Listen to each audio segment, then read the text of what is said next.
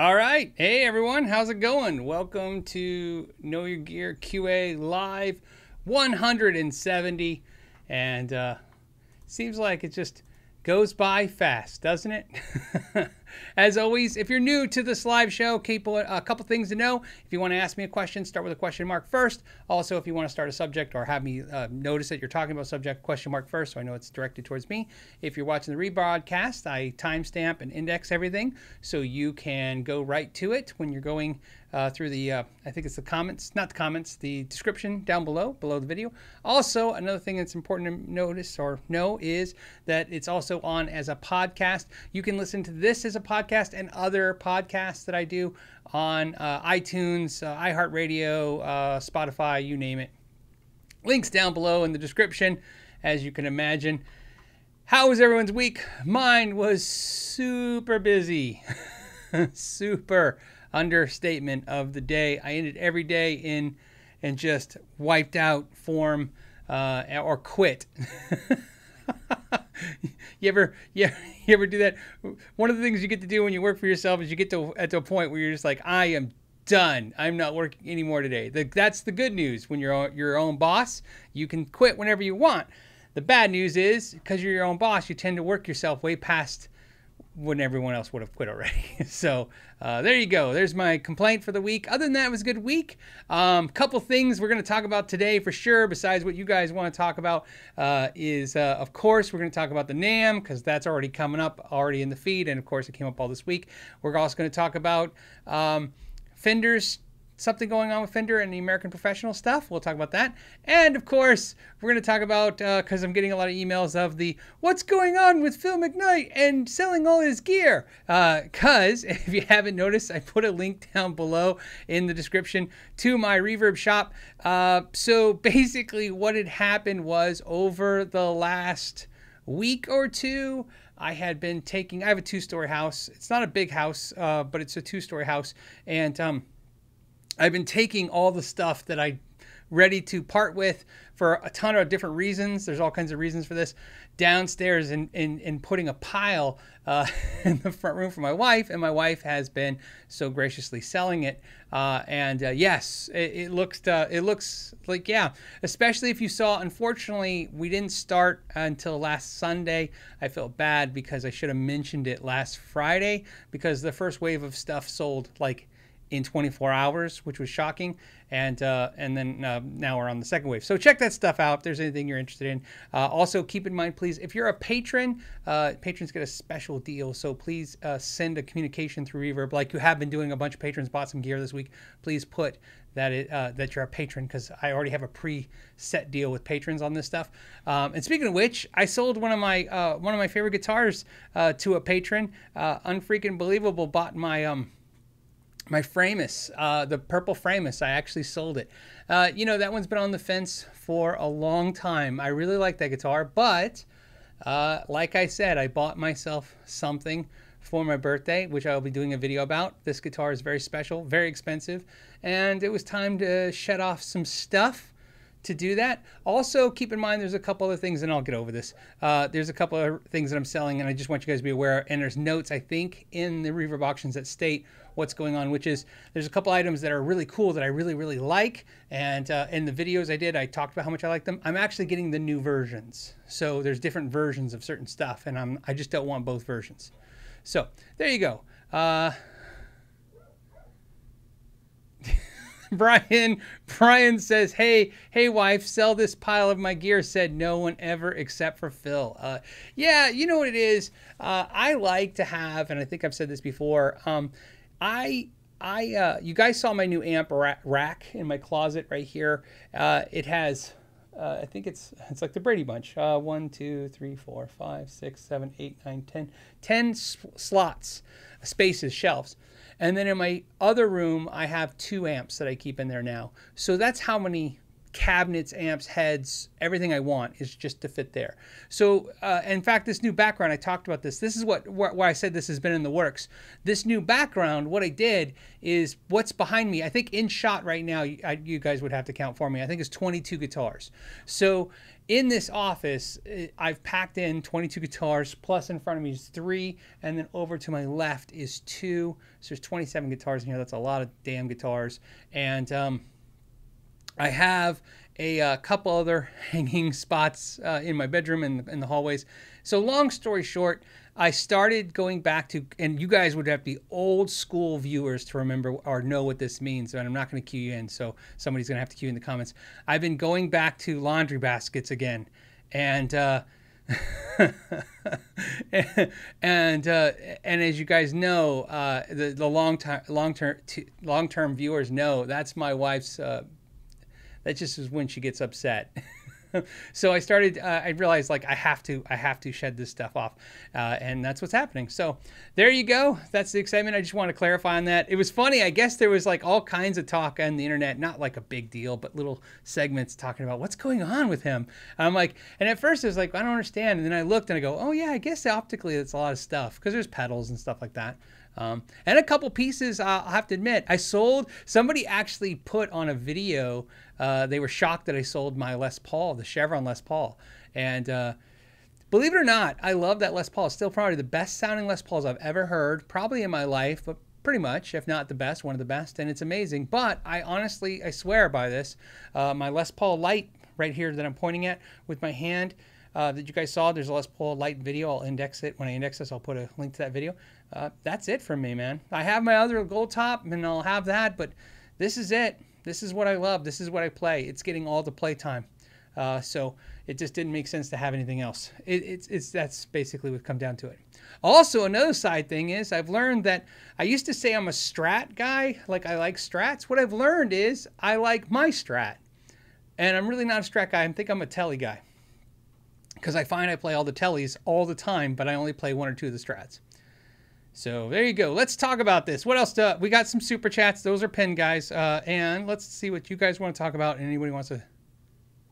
Brian says the Knaggs Phil has is for sale sweet. That Knaggs is sweet. That Knaggs was like I said. That was the one I bought to do that video uh, to check it out. And and um, I like that Knaggs a lot. I will tell you why I'm selling that Knaggs so you guys know. That Knaggs is being sold because it's got the eight and a half inch radius fretboard and like the John Mayer Silver Sky that I have, I'm not selling the Silver Sky, as the seven and a half or seven and a quarter, seven and a quarter.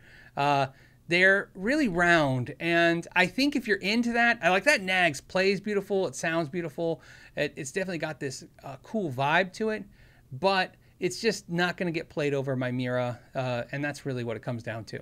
So uh, again, yeah, that one was. Uh, I was a little shocked that I put one that. I like I said, I just took stuff down and I said, okay, this is the stuff I'm thinking about. And uh, plus, I can't leak anything that's coming because I got some exciting stuff. But I got some exciting stuff coming. Some stuff that's gonna be like really specific, not like a company sending me stuff or anything like that. This is stuff I'm working on that I'm excited about. So, this is all a precursor to that. So, uh, Unfreaking Believable said, Thank you for selling to me. No, man, thank you. I appreciate it.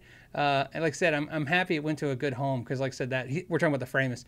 That Framus is awesome. And to be honest with you, I was I was I decided I'm only keeping one Framus, and I wasn't sure. I was teetering, teetering, teetering, teetering back and forth, and I don't think I can move. I can't. It's I can't move enough out of the way for you guys to see it. But that's the Framus hollow body is what I kept. All right. Uh, Okay, we probably want to talk about some other stuff besides the stuff I'm selling. Let's see. Maybe I'm wrong. Maybe, maybe I'm wrong. Uh, Unfreaking Believable also says 115 in Phoenix today. You know what it is? It might be humid too. I feel like it's musty or something. Something's up. But yes, you can feel it. You can always tell when it's that hot. So you guys uh, outside of Arizona and these kind of places that we live like this, um, when we say 110, 118, of course, we're talking about Fahrenheit. Um, like I said, 115, I, am guessing would be like 42 or 41 Celsius, um, deg- Celsius. Uh, but my point is, um, what's my point? My point is, is that believe it or not, as hot as it is, people are like, oh, I can't live in that. What happens is when you live here, when you break 110, it gets really hot. That's hot. But when you start getting the 115, that's why he's mentioning it. What really happens is you realize like even your air conditioning in your house, everything is just working as hard as it can to maintain a cool environment. So you can you get you know I mean it's it's pretty creepy to be up that high. It's hot. It's hot. Uh, my pool, so you know, is unswimmable right now. That's right. It's unswimmable. Uh, what that what does that mean? Uh, it means that literally it's too hot. It's too hot to swim in my pool. I have a deep pool, has a diving board, so uh, but in my pool right now, I'd have to go check. But last I checked was a day ago, or and it was 96 degrees in the pool Fahrenheit. And my pool has shades. There's like shades over it that cover the pool, cover like probably 40 percent, maybe 50 percent of the pool during the day. It's not it's not getting sun on the pool. And I have an aerator this is just a fun story because I know people that don't live in Arizona are always shocked to hear stuff like this. I have an aerator. If you don't know what that is, it's like a sprinkler built in the pool, and it shoots at night. You shoot water over the pool. It's the own pool. It's this pool, the pool water. It shoots it out and then sprays it over the pool, and then the air goes across the water in the air and cools the water down, and that cools the temperature of the pool. And even then, it's 96. so I'm 98 degrees. So it's like if I want to get in water that's two degrees cooler, I, I guess I'm cooling down. I don't know. It, it really takes the fun out of swimming. This is a, yeah.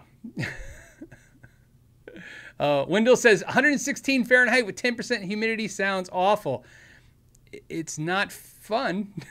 we call it reverse winter here for you uh, for you folks that live in other states or countries where you have snow and you get snowed in. We're get we call it like reverse winter. We just no one goes outside during the summer here. It's just really hot and you stay inside your house and you look at the beautiful sun outside and you don't go outside. uh, yeah.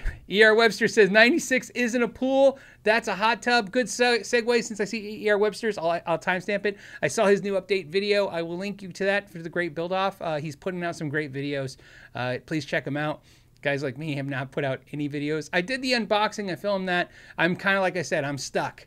I'm stuck where I'm at, so I don't know how to put out any content. I thought about putting out the uh, video just talking about the uh, the components I'm using and stuff, but I kind of feel afraid to share right? The reason is is because i think if i if i share what bridge and pickups i'm using you guys will know what the theme is. I have a theme on mine so i'm excited about. Uh, let's see. Uh, plus i don't want to spend too much time doing videos because aside from everything else i'm really uh, going to be skirting the deadline of uh, really closely. It's going to be a disaster to get everything done in time. Again with the heat now and stuff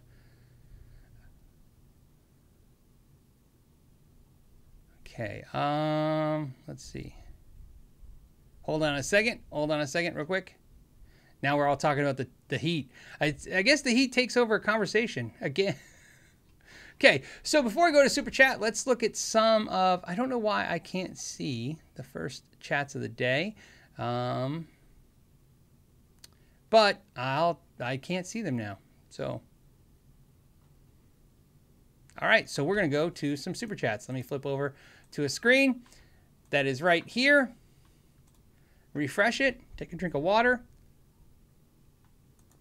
And again, uh, if no one brings up the NAMM thing, we're going to talk about that and uh, and other stuff too. Christopher Spears says, uh, "I have I have bigger hands. He has big paws, everybody. And it says, uh, I always play modern guitars. I find my hands get uncomfortable. Do you think a guitar with a fatter neck would be more comfortable, i.e., a Les Paul standard? So, what I can tell you, Christopher, is there's a way to test whether or not you should have a bigger neck, and it has nothing to do with the paw size. Like I said, um, some players have small hands and play big necks. Some players have uh, big hands and play small necks. Um, but generally speaking, it depends on how you your style playing. And so one of the things I, I, I kind of reference to, let me grab my my Les Paul right here. And uh, I'm going to show you the C chord right here. And again, if I can angle that on the camera. Whoa, what, figure that out. Okay, here you go. You can't see it because I don't have the right angle. But I'm going to do it just so you see. What I want to show you is when you make a C chord or maybe a G chord, okay, some players come at it, and this is again for straight. Some of you guys, when you make chords, your fingers go straight across the fretboard. Some, like me, when you play a chord, I actually bend. See how I'm bending my fingers? And my fingers are hooking, what I call hooking. So it's going, I go over the neck and then I hook over. So fingers like this are hooking, okay? So I hook down, okay?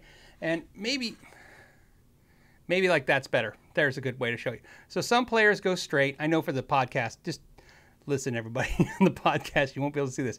Uh, some player, players play their chords and their fingers are kind of coming at a straight angle, angle. So they come straight like this, playing a chord. It will look like this, almost like I'm barring off. Players like me come over and see how I'm bending, almost see how I'm coming over and then just bending straight down. So, whoops, just hitting things. So, why is that important? It's important because sometimes when you say uh, your hands get uncomfortable, it could be that that position, the awkwardness of kind of squeezing your fingers in between the strings. So, there's something you have to do, unfortunately, and it's not as easy as get a bigger neck. It might be the string spacing that you're having issues with. So, you want to start paying attention to string spacing. There's two two, well, there's a bunch of kinds, but there's two major ones you want to pay attention to. And so you want to figure out what string spacing your current guitar has because a bigger neck will change some things. But in my experience, the bigger necks really change how your thumb positions and how your hand squeezes, right? And the reason a bigger neck is sometimes uncomfortable to some players is this. And again, I'm going to be using some stuff, but I'll be describing it to those that listen. I'm using this little toolkit I want you guys to picture in your in your heads right now that I have this toolkit and I'm squeezing on it, okay? Okay? I can squeeze really hard. If I turn it sideways, which now it's twice as thick, I get the StewMac logo. Look, StewMac, hey, look, StewMac's getting free advertising. So so so here's what it is. Flat, I squeeze really hard, okay? I, I could crush this thing if I wanted to. I go long ways, so they get their advertising again. And, if I squeeze, I can't squeeze as hard. It's a little bigger, right? And of course, this way, if I turn sideways and I try to squeeze like this, I have even less strength, okay? So believe it or not, the thickness of a neck really changes how hard you can squeeze down. So because obviously the wider your thumb separates from your fingers, like this, the harder it is to squeeze, just like kind of grabbing a basketball versus grabbing a tennis ball not every player has this issue. Right now, some players like, no, no, I don't have that problem at all. Thicker necks is easier for me to play. It's true. It depends on how hard you squeeze. Some players squeeze really hard, some squeeze not at all. So you have to kind of take into consideration two factors. The thickness of the neck will determine the squeeze part. In other words, if you squeeze really hard, maybe a thicker neck is going to make that worse. If you don't squeeze really hard, it will probably not change anything. So good, good, good for you. But when you're making chords, string spacing to me has been more relative to comfort than how big or thick the neck is. And when you said Les Paul Standard 50s neck, that's a neck that's just, just thicker. It's not wider than the 60s I just picked up. Uh, so, like I said, factor in that. A good way to get some education on string spacing is go to warmoth.com or Kiesel Guitars, but I would go to Warmoth and look at their different string spacings and some of their information, and it'll kind of enlighten you. And, uh, and what's great is I have a friend, and he's got, I mean, he's got paws, right? I got a, I got a pretty big hand, right? I'm six foot. It's a pretty big hand. Um, but he has hands where like they're they're li- like literally just mammoth hands and the and his sausage fingers. It's crazy.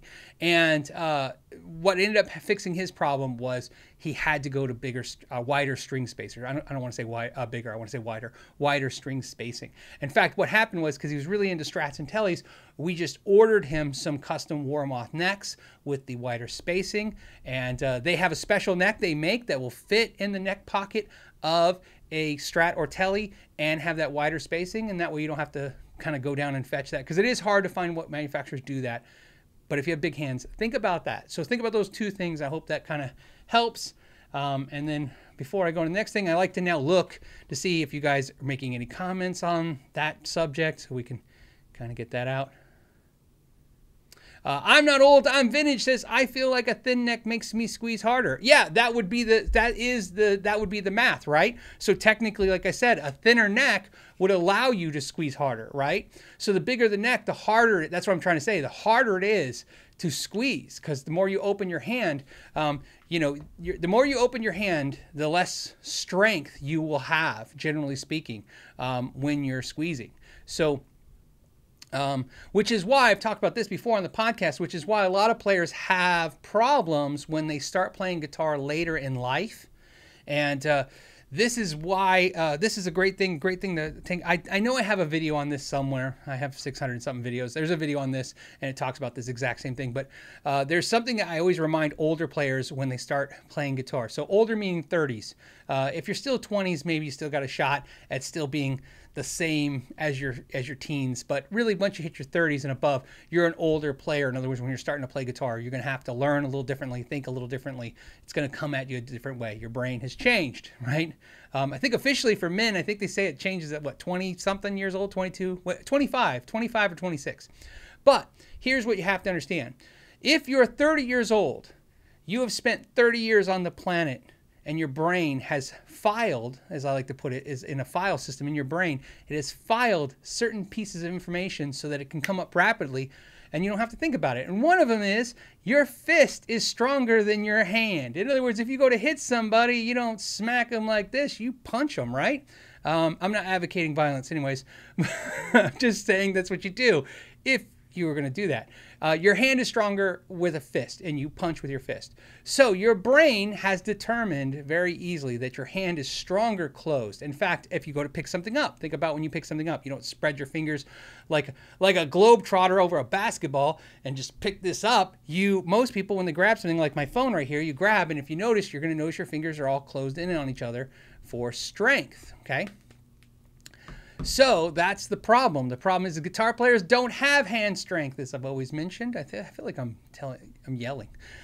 Anyways, guitar players don't have hand strength. We have finger strength.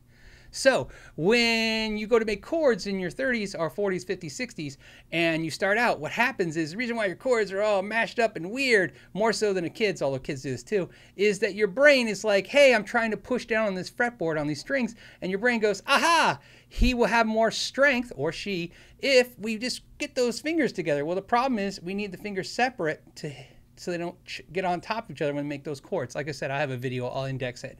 So my point is, uh, you have to work on finger strength, finger exercises, which is why you have to do scales and kind of think, do do stuff that helps your brain understand that things are different now. And uh, so, so yeah, to to go to I'm not old, I'm vintage. Uh, the thin neck, technically, you would squeeze harder because again, you're bringing your hand in closer, which gives it a little bit more power, and uh, maybe separate those fingers a little easier when you're doing that as well. So there you go. Good, good topic. All right, let's go to the next one.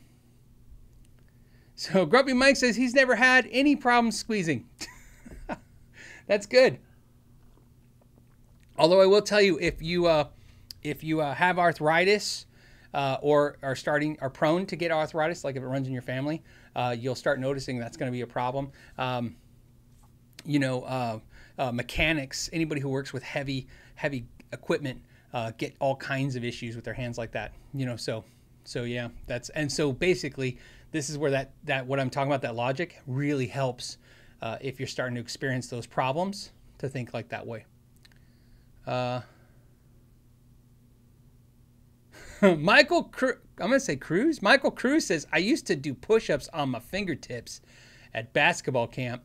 Luckily, I still have finger dexterity. Yeah, you know what? That's some that's some manly stuff maybe it's some womanly stuff too. I bet you women can do it probably even better than men, but still pretty pretty badass. uh, you know, I did a lot of push-ups in the army. I never I never was good at it. good enough to pass. Always I always you know did what I was supposed to, but I never could do the knuckle things. You know how the guys would do knuckle push-ups. Never could do any trick cool push-up stuff. You know, just never never my thing. So, uh, there you go. So yeah, fingertips would be crazy to watch. Okay, um, let's do another super chat. Let's do it. We got it right here. We got some pinned. Let's uh, let's find who's next. As as it's rethinking. Here it is. It is. It's like a grab bag. We have Jason. Jason says, What do you think of Fender Special Edition Telecaster FMT-HH?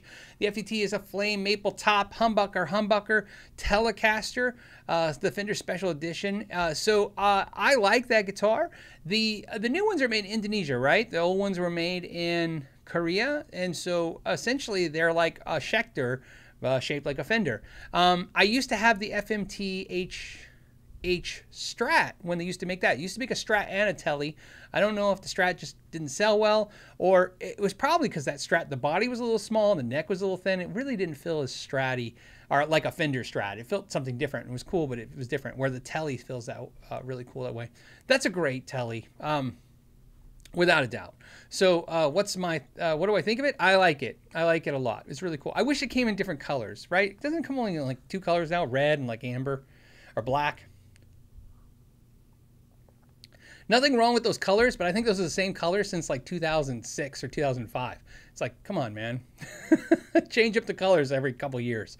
You know, especially like, what is that? Just tell the factory that's building overseas, like, hey, do blue. Now do sunburst. So that's my only, Jason, that's my only negative is the color selection was always kind of limited. They used to have, you know what it is? I'll tell you, I used to have one of them and I regret selling. It was made in Korea, Telecaster FMT, but I don't know if they called it FMT because FMT because it was a spalted maple telly. It was beautiful. And every time I played that guitar, somebody, especially non guitar players, told me how amazing the guitar was and how it looked so expensive and so beautiful.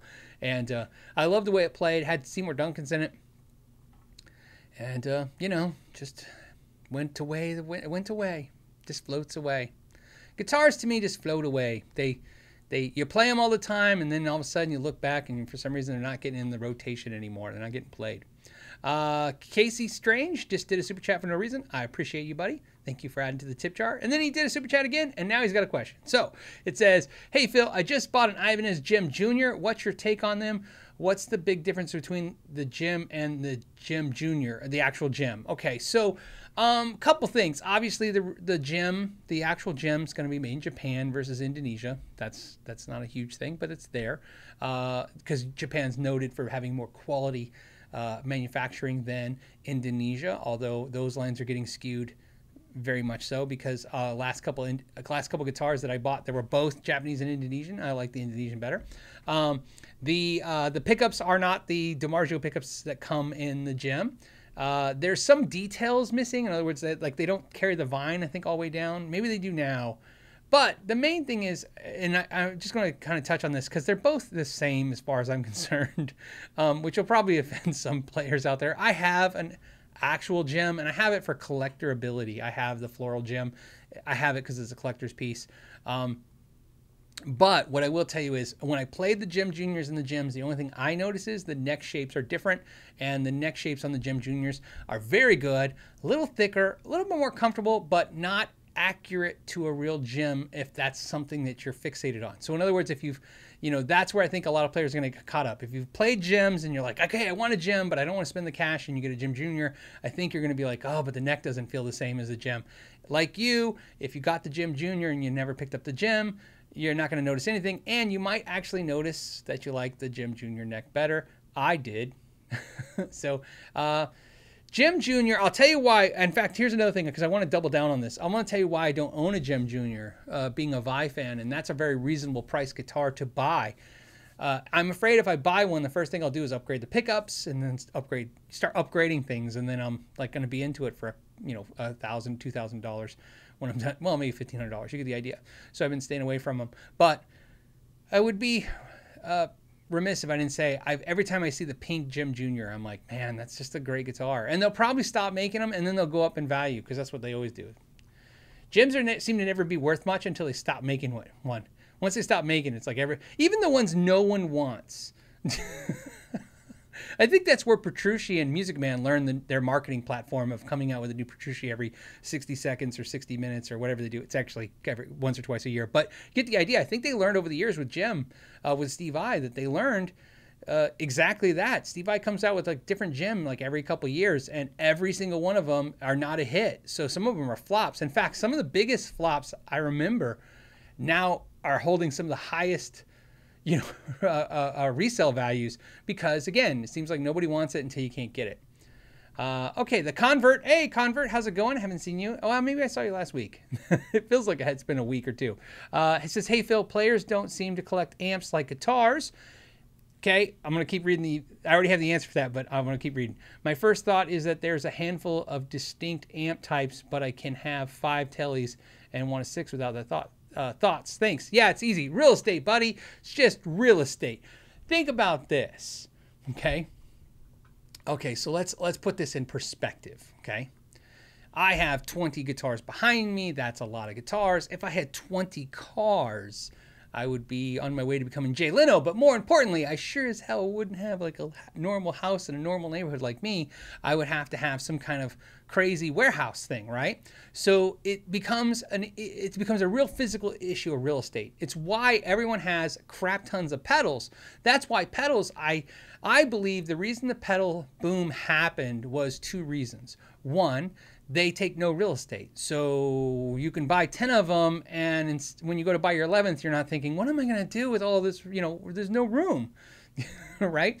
Um, and, and, and physically, think about this. I refuse, I refuse to get a storage uh, facility or uh, it's just my personal thing. Some of you guys have them. I'm not judging anyone. Please don't judge me, and we'll all be friends, right? So, uh, what I'm saying is, I refuse to store guitars, amps, or pedals. Even though I know deep down, okay, because I have friends, the reason that comes up is because my friends tell me, don't sell your stuff, Phil, because they know some of the stuff I'm selling. I, am not dumb. The Les Paul I just sold, I got good money for it. It'll be worth more in a couple more years, okay? Everything that I'm selling right now, a lot of that stuff, it's to be worth more if I just wait. I know that. I'm just sick of tripping over it. I only have so much room and I'm not going to devote more room to this. So amps are definitely a real estate thing. It's why people get heads now. Somebody asked me before once why I had more heads and combos and I'm like, it's real estate. I could have one cabinet and a couple heads and now I have them racked into a closet. So it's definitely a real estate issue, even for rock stars. That's a that's a thing that has nothing to do with your whether you're a collector or you're a professional or what have you. Uh, even studios only have so much room, so it's, a, it's definitely a room thing, and that's why, like I said, back to the the uh, pedal boom.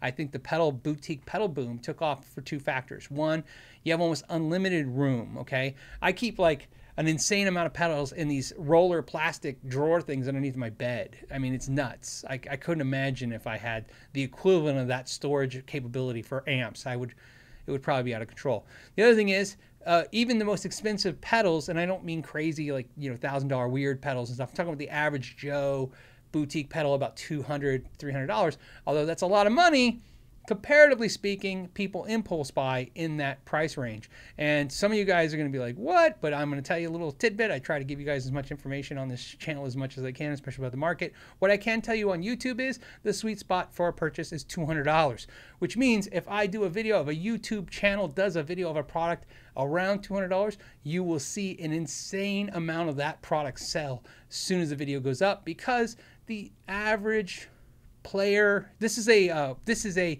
for some people it's a hobby. For some people it's a job. There's all kinds of reasons why you're watching here right now. But more importantly, this is a luxury uh, item. You know, musical instruments are luxury items. This is not like you know we're not here like mechanics talking about you know how we need a new drill to, to fix stuff or our socket wrenches. So what I'm saying is is the uh, that's the sweet spot, so you know. Um, and we know that because, uh, well, one, I know that because a lot of us channels talk and we see that happening with the uh, links and we see that stuff with companies tell us information. Plus, um, generally speaking, there was a reason why the pedal boom happened. All the pedals were about $200 and that's where people want to spend. That's why Harley Benton is killing it right now because, again, they're in that $200 range. $200 for a lot of people is a comfort zone purchase and that's something I, I kind of always try to remind people all the time. People talk about this stuff like there seems to be this equation in a lot of people's head, and, and it could be right. I'm just telling you, my life experiences in this in this industry so far have not not pointed me towards this answer. What happens? What I've learned is people buy their comfort has nothing to do with their actual ability. So I know people they make 800,000 a year and they won't spend more than $600 for a guitar. They just don't, right? They just don't think a guitar should be cost more than 600 bucks. I know people who make 20,000 a year and they own a $5,000 guitar. Why? Because they saved up for it and that's what they wanted and they're comfortable with it. That's the thing. You have to be comfortable with it. It it's there's a psychological part to this, uh, and again, that's what happens when I you know I sold guitars to people for 12 years. You kind of learn there's common commonality in us, and one of the commonality is no matter how much money you make, no matter what you're buying, there seems to be this has to incite joy in you and it's the second it's in, inciting frustration and fear it's not a fun experience anymore. No one you know what i mean? No one wants to literally own something they're afraid of right? What's the saying? There's a saying right? It's like if you know some own your stuff don't let your stuff own you kind of logic. Um, so i'm just giving you some of the psychology of that. The reason i'm apprehensive when i talk like this is i want you to know this stuff but i also know the comments get a little aggressive because there's always somebody out there who's like you know they have an emotional attachment to money. Like, in other words, they get emotional about the money. Don't be emotional in your anger about it. Just understand that's how that's how the market's bearing right now. Uh, yeah, ER Webster, great point. Uh, it says once I get over thousand dollars, I start to expect more than reasonable. Uh, uh, wait, I, I start to expect more than I is reasonable from an instrument. Okay, I know what you're saying. Let me drink water what he's saying is exactly that.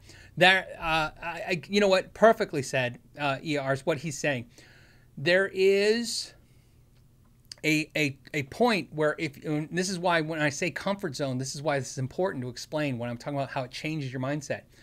People get if you buy out of your comfort zone, the first thing that happens, okay, let me, and I'm going to talk to you like a seller, okay, someone who sold people stuff. What happens when I know you're buying out of your comfort zone, what I know is going to happen is not only you're going to probably return it, but also you're also going to drive me crazy, okay? Um, a lot of people that watch this channel are store owners and of course employees at stores and stuff because the guitar community. And they're right now i promise you they're nodding. They're like yeah i know. It's a hard thing. They can't say it right? Right? Because when i was in the store i wouldn't say it to anybody. But now I, i'm not selling guitars. I'll tell you some of that logic.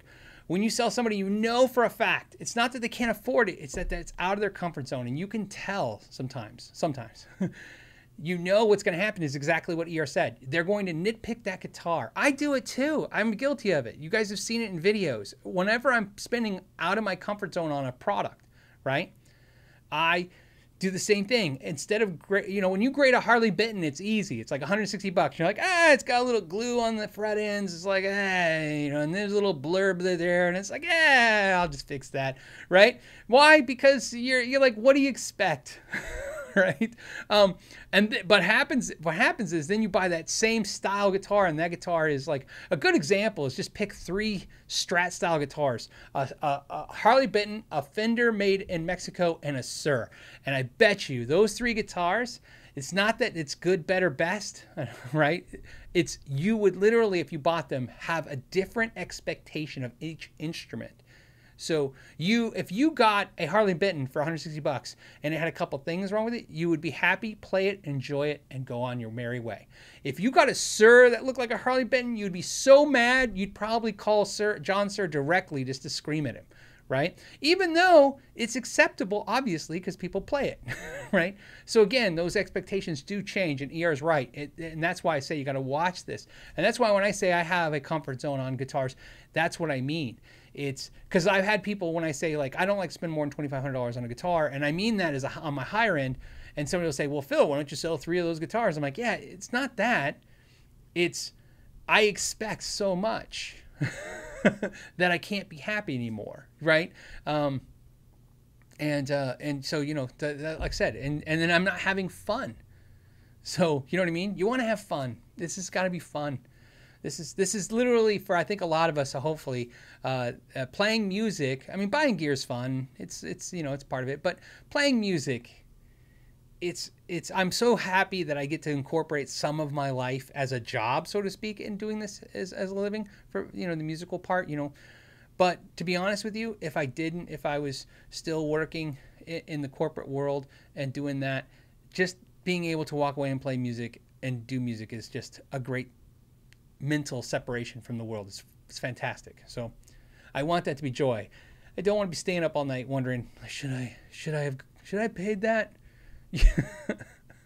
so, um, or I'll tell you what I do, which is why sometimes when I'm purging gear out, you'll see why. Uh, I'm, I'm I'm going to bed at night going, do I have enough money for my kids' college? I think I'm good, but I don't know. I don't know. Do I really need to two strats. Shouldn't wouldn't couldn't one of those be books? That's what you do. So it's, uh, remember, I'm a, I'm a, I'm a, I'm a dad. I got to think like a dad. Uh,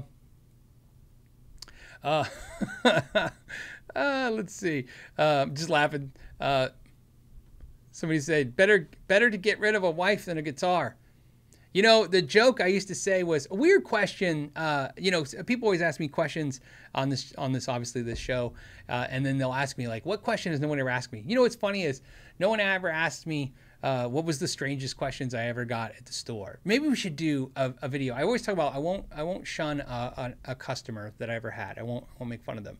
So usually, if you ever hear me talking about customer on the show, I promise you, uh, they're probably watching and they're a friend okay because i became friends with so many of my customers some of them are just you know we're still connected and i don't mind that you know they know i know what they're comfortable with me saying especially if i'm not saying their name and stuff uh, but uh, so there's uh, one one of my favorite things ties into what you're saying about the wife uh, I used to have this horrible dad joke that I used to like to say in the store. It was horrible. I didn't know at the time it was a dad joke. That later my kids explained to me it's a dad joke. Somebody will be like, "So, so here's the weird question you get if you own a store every day. People come in your store and go, What's the most expensive guitar in here? and it's a weird question because you know they're curious, but you're also thinking, like, why are they curious? Because that's the one they're going to grab when they run out the door? Or are they here to buy the most expensive guitar? On, like, I'm just here to buy the most expensive thing you have. It's always a weird question. So, and and no matter what, I found is, uh, and I used to play over the years because you could play. You could be like, oh, it's a cu- custom shop Fender, it's $3,600, or it's a, you know, it's a blah, blah, blah for $4,000. And I found no matter what number you picked, they weren't impressed, right? So I noticed like you could just start saying crazy things like, uh, what's the most expensive guitar in here? I'm like, oh, we have a, a Shenanigan guitar. It's like 28,000. Like, oh, eh, sorry. and I'd be like, oh, not impressed. Okay, so anyways, um, but my dad joke was, uh, so he was like, what's the most expensive guitar in here? And I'm like, the one that gets you divorced. it's a bad joke, but I said it all the time. I still say it this day. What's the most expensive? When people go, "What's the most expensive guitar you have?" I don't know. Probably the one that's going to get me divorced. So there you go. All right, we need to jump off that subject. Uh, let's see. Let me go. Uh, I'm looking for question marks first. I'm trying not to dip back into the uh, super chats. Hold on. Okay, so good. Guitar Hack. Thank you, Guitar Hack. Uh, he brought up a subject I wanted to talk about. Works out great for me. Thank you. Says, hey, Phil, any thoughts on Fender discontinuing tele professionals? So, American professional uh, instruments, there is some information being just uh, sent out that basically Fender has discontinued. And they're pu- publicly stating in some degree that they're not discontinuing all the models, but most of the models. And uh, here's my thoughts on that. Great. I'm glad you asked me my thoughts. Guitar Hack because I'm gonna I'm gonna give them to you. it's, it's, like it's like funny because I was gonna you know. Anyways, um, here's my thoughts. Uh, the concern I have whenever Fender has, and I'm not saying this is the case, but in history, every time Fender discontinues a series of American instruments and comes out with a new series, whether that be the uh, you know the um, uh, the obviously the American Standard to the American Professional, but more importantly the, Deluxe, American Deluxe to the American Elite to the American Elite to the American Ultra. It comes with a price increase, so that's what I don't. Uh, I'm not excited about. Uh, it means there's a kind of uh, again I can't say that means there's a price increase. It means that there's a statistical. Um, percentage of probability, right? Statistical probability that there's going to be a price increase. So, what are my thoughts? Oh, man, Jesus. No price increases, please. I feel like those look we uh, anyone who's paying attention to this industry knows right now that we've had some record sales in guitars in the last two months a lot of that has to do with covid uh, you can't take the kids to disney so you're strapped you're, you're stuck in the house you're buying a guitar. People are learning guitar so cheap guitar sales are selling great because people are learning guitar. It's great. Online lessons have been selling like hotcakes so you're seeing a lot of the online uh, lesson channels on youtube just raking in the cash and good good for them. They deserve it. They make good content and, and uh, good for them. And uh, and so uh, you're, you're seeing that. Higher end sales are definitely pinging because again, people got some stimulus checks, and the stimulus checks again. I try not to be political, but everybody's not dumb. We we know that you know, the stimulus checks are kind of a strange thing in the idea that they're there to stimulate the economy, which is good. But also, you know, people who got them, some people had to pay rent with them, and some people just get to like wipe their ass with them. That's just how it works. That's just the the law of I don't know what that's a law of. That's the law of just life. Okay. So the truth is, some people just got a stimulus check and literally just bought a guitar with it, or put a down payment on a guitar or something else, um, and that's good because again, it helps the economy. It's all good for the economy. I'm not not not negative at any of this. Please don't don't construe it that way. What I'm just saying is is that uh, you know that's just I want you to be aware because I'm aware that I have an audience that some are in those both situations. So I'm trying to be understanding of both situations. But but what I'm trying to say is is that uh, high-end guitars are selling. Obviously, a lot of manufacturers have been shut down for a few months, and so there's a lot of backlog. In other words, there's a really seems like a high demand and a low amount of supply right now. But I don't know, and I don't know if the industry even knows if that's because the demand is so much higher or it's just the demand picked up maybe 5 10% and supply dropped 5 10% and it's just causing that. But what sucks is is the last thing I, I think that we want to see is inflation, and I think that's what the uh, the Fender thing is going to represent. So again, I could be wrong, and again, I, I'm happy to be wrong, especially in situations like this. I hope that you know when the new American whatever Fenders come out, they're like, oh, they're they're less or the same, and you get more with them, right? It's really cool. So, so. Uh, so you get the idea. So um so that's my thoughts on that. If you guys didn't know anything about that, but like I said, I just like I said, if I was a dealer right now, I would be expecting that. I'd be expecting that the next round of instruments are going to go up. That would be my anticipation. So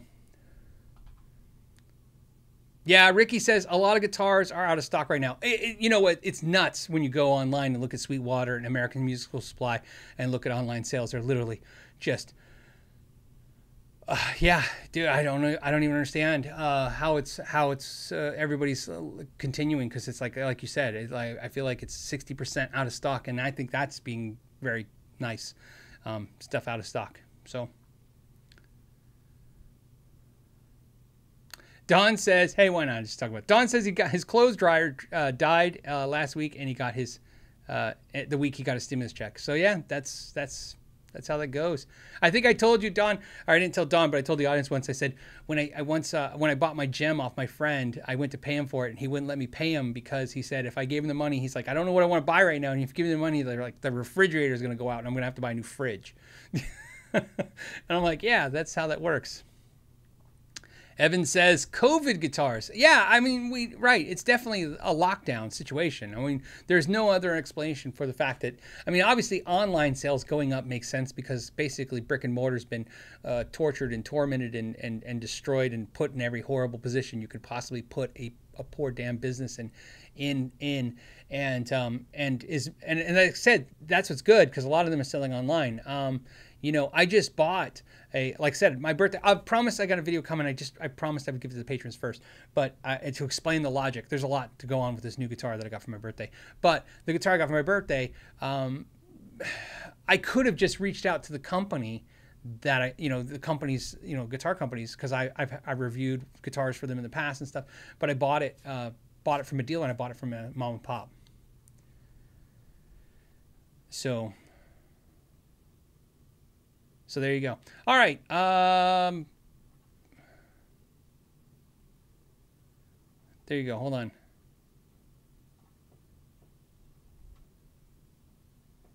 I'm not old. I'm vintage. Said stimulus. Let me uh, let me help someone sell their Silver Sky. Yeah, I mean it's it's it's good. It's like I said, it's money moving, and that's part of it too. But again, it's uh, it, there's a lot of factors. But you know, I, I just don't know. I don't know how much I believe whatever's happening right now is staying. Okay, and that's not a prediction of the economy. We're not talking about recessions. We're not talking about anything. We're talking about the fact that literally it's really easy for the industry to get you know what's the saying there's a saying like everybody's a genius in a bull market like i you know i, I think a lot of companies are going to be like man we're selling so much stuff we can't even keep up let's just make even more stuff and raise the prices and i'm like yeah i don't know if i would start making bad decisions you know, uh, like that right now, right? I would say every day is a different day until, like, I, I think I said this when we first started in March on the live shows, and, we, and this all started with COVID. I said every day you have to take it day by day because we're all in a world right now that no one understands. At least I don't. And if you do, please send me an email on what it's what's really going on because I don't think any of us know. Okay. Uh, what else? Super chats. Let's get a super chat. Uh, we got Ben. Ben says our lower end special run Gibsons, looking at the 2016 Naked SG, worth it, or save the money for a higher end standard Gibson. Hope you like leather. Man, thank you for that. That's awesome. Hope you like leather. Uh, ben, I can only tell you that answer with a great story of torture that happens to me every day on YouTube three-ish years ago, maybe four years ago, when my store, when my store, when my channel first started, I did a video called "What Guitar Would I Buy for Five Hundred Dollars," in which I went to a Sam Ash and bought exactly what you're talking about. I bought a used Gibson Special Run guitar that was one of those satin finish uh, gold tops with P90s. Very inexpensive guitar. At the time, that guitar had a value of $500 used. It sold brand new for 699. and I bought it in that video for $400. Three years later, now that guitar is worth a thousand dollars, which I sold for nine hundred. Because of course, once once I double my money, I'm like, well, I bought the guitar to make the video. I, I like it, but I don't need it. I'm doubling my money, so I doubled my money, and it had nothing to do with my video, by the way. That's just how the market works for guitars like that. Now the the the bane of my existence is about I won't say every day that's unfair, but that video has like I don't know 1.8 million views. Like every two days I get a comment. This is a fake video. There's no freaking way he could have bought a $400 Gibson. It's a plant. And I'm like, oh man, just look at the damn date. If you have any freaking brain, you know it was like that's what they were going for then. Why would we plant a guitar? Uh, the big deal in the video is that we we got it for like 100 to 50 dollars less than normal. we were excited about that in the video. Now it seems like a great deal. If you're not paying attention, you're like, how did he get a $900 guitar for 400 bucks? Well, because when I bought it, if you go back and look, that's what they were going for. So the answer to your question is, yeah, dude, yeah, it's gonna a 2016 SG Naked. What's it's, it's gonna it's gonna go up in value. So that's Gibsons and Fenders, American guitars there's only two arguments in play right now. There's the argument that they'll continue to go up in value. The only counter argument is that at some point, boomers and maybe Gen Xers will, as they get older, stop buying this crap, and the millennials and whoever the next generation won't care.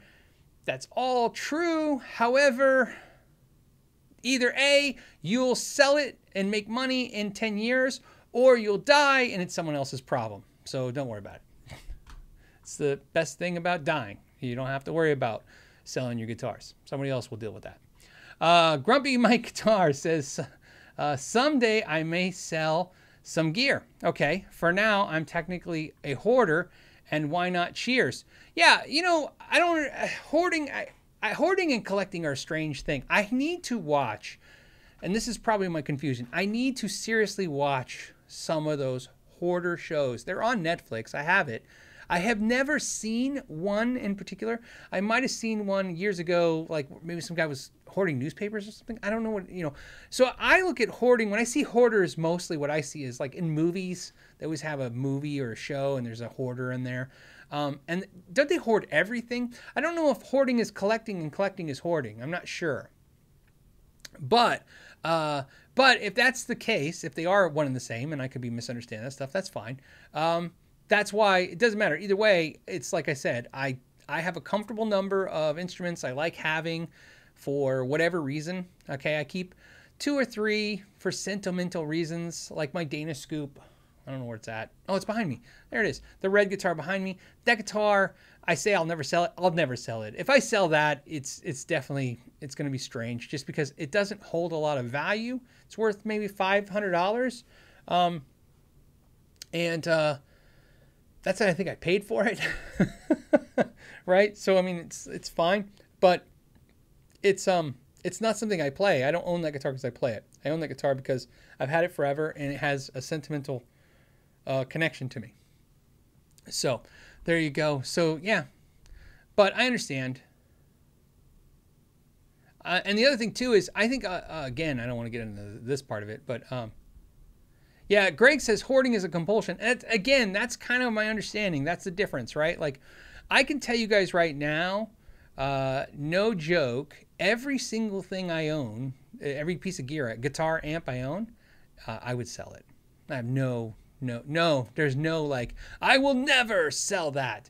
Now, there's things I don't want to sell. Okay. So, like, for instance, my Solar guitar, I don't want to sell it. Ola Englund gave it to me. It kind of, every time I play it and see it, it reminds me of that time. That was kind of cool. And it was a big deal for me because uh, here's why it was a big deal for me.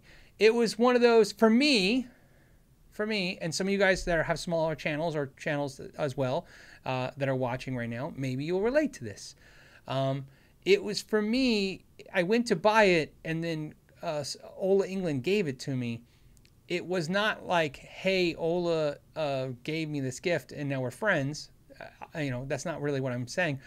For me, it was like a, I guess the quintessential moment on my channel where I realized maybe the channel is doing something because why would this entity that's pretty big in the in the in the community uh, on YouTube, uh, he valued, you know, I, look, I'm not dumb. He was like, look, I could sell you this guitar, but if if you just play it and show it in your videos, you know, people will see it and they, they might buy one too. So in other words, he that he saw that maybe the channel had influence, as they call us influencers sometimes. And I thought, it, so basically, it was a compliment. That guitar to me, every time I see it, that solar guitar, that's a compliment. I look at that guitar and I go, that's someone, not like a guitar company who just wants to sell guitars, okay? And they don't know what they're doing and they're sending out guitars to YouTubers hoping they sell stuff. And that's smart. It's good marketing, but that's not what this is. Ola knows who who's, you know, who's who on the market. And so I took it as, hey, that was a compliment. Uh, so, uh, but like I said, uh, what I, I say I'll never sell it, but no, if somebody offered me stupid money for that, I'd sell it. Are you kidding? I got kids. I got bills and kids like every other normal person on the planet. Everything in here. I, I don't have it up for sale, but if you throw a stupid number, I'll take it. uh, all right. Hold on. Okay, I got some super chats. This is going to go long again if I don't get on, on top of some super chats, guys. I'm sorry. Uh, let's see. Um, we have Street Song says, uh, Can I wire some four wire humbuckers to a two wire setup? Uh, got a bunch of Wilkinson parts and a bolt on neck uh, epi good parts to start my journey uh, of tweaking. Absolutely, it's great, great parts, and absolutely, sure, of course, four wire pickups are pretty pretty standard. Um, yeah, you can absolutely uh, four wire pickups. Think of them uh, street songs. I want you to think of a four wire, which is technically five wire. All four wires are five because you got two grounds. Um, uh, all four wire pickups are options. That's it. You can make them two wires. In fact. Uh, half my guitars, when I wire in pickups and they're four wires, I'm just put them in two wires because I don't like the coil split that much. If coil split's there, I use it sometimes, but it's not really my whole thing. So yeah, absolutely, pretty easy. You're just gonna tie off two wires and either uh, put some shrink tubing on them. You can use some, um, you can use some uh, um, uh, electrical tape. You know, just whatever it is, you seal them off. Very, very straightforward. So. Um, John says, I have a Katana 50, a THR 10X, and now a Spark. Uh, one has to go. Which one? Ah, you know, that's a great question. I don't know. Uh, I, I, don't have a THR 10, so I can't really speak to that. But what I can tell you is this I have a Katana 50 and I have a Spark, and my Katana 50 is uh, downstairs right now. It's going, right? Uh, I bought the Katana in January, and uh, it's a great amp. If you have a Katana and you like it, I can see all the reasons why you like it. I liked it too. The Spark, it's not so much, I don't want to get into the better sounding thing. That's an objective thing. So, uh, generally speaking, though, I can tell you a lot of my friends came over like the Spark more than the Katana, but but that's not the reason why I'm keeping the Spark over the Katana. I'm keeping the Spark because, like probably the THR10, I like the it's right here on a desk. I can use it as interface. I can play. It's just it's a more convenient product for me, and it's smaller and lighter, and just I like it. So, uh, but that would be my answer. Although I have I have to really compare it to the THR10 to know to know the difference, to know if that, that's one I you know contend with. Uh, let's see. Uh, oh, oddly weird. Hey, look at that. Phonetically great. Hey Phil, I have an Ibanez GART 60 and I am looking to maybe buy a PRS SE245. My question is, is that is this really two companies' versions of the same guitar? Yeah. the the the SE245 will have a, a slightly thicker, chunkier neck, and um, I think uh, with those two guitars,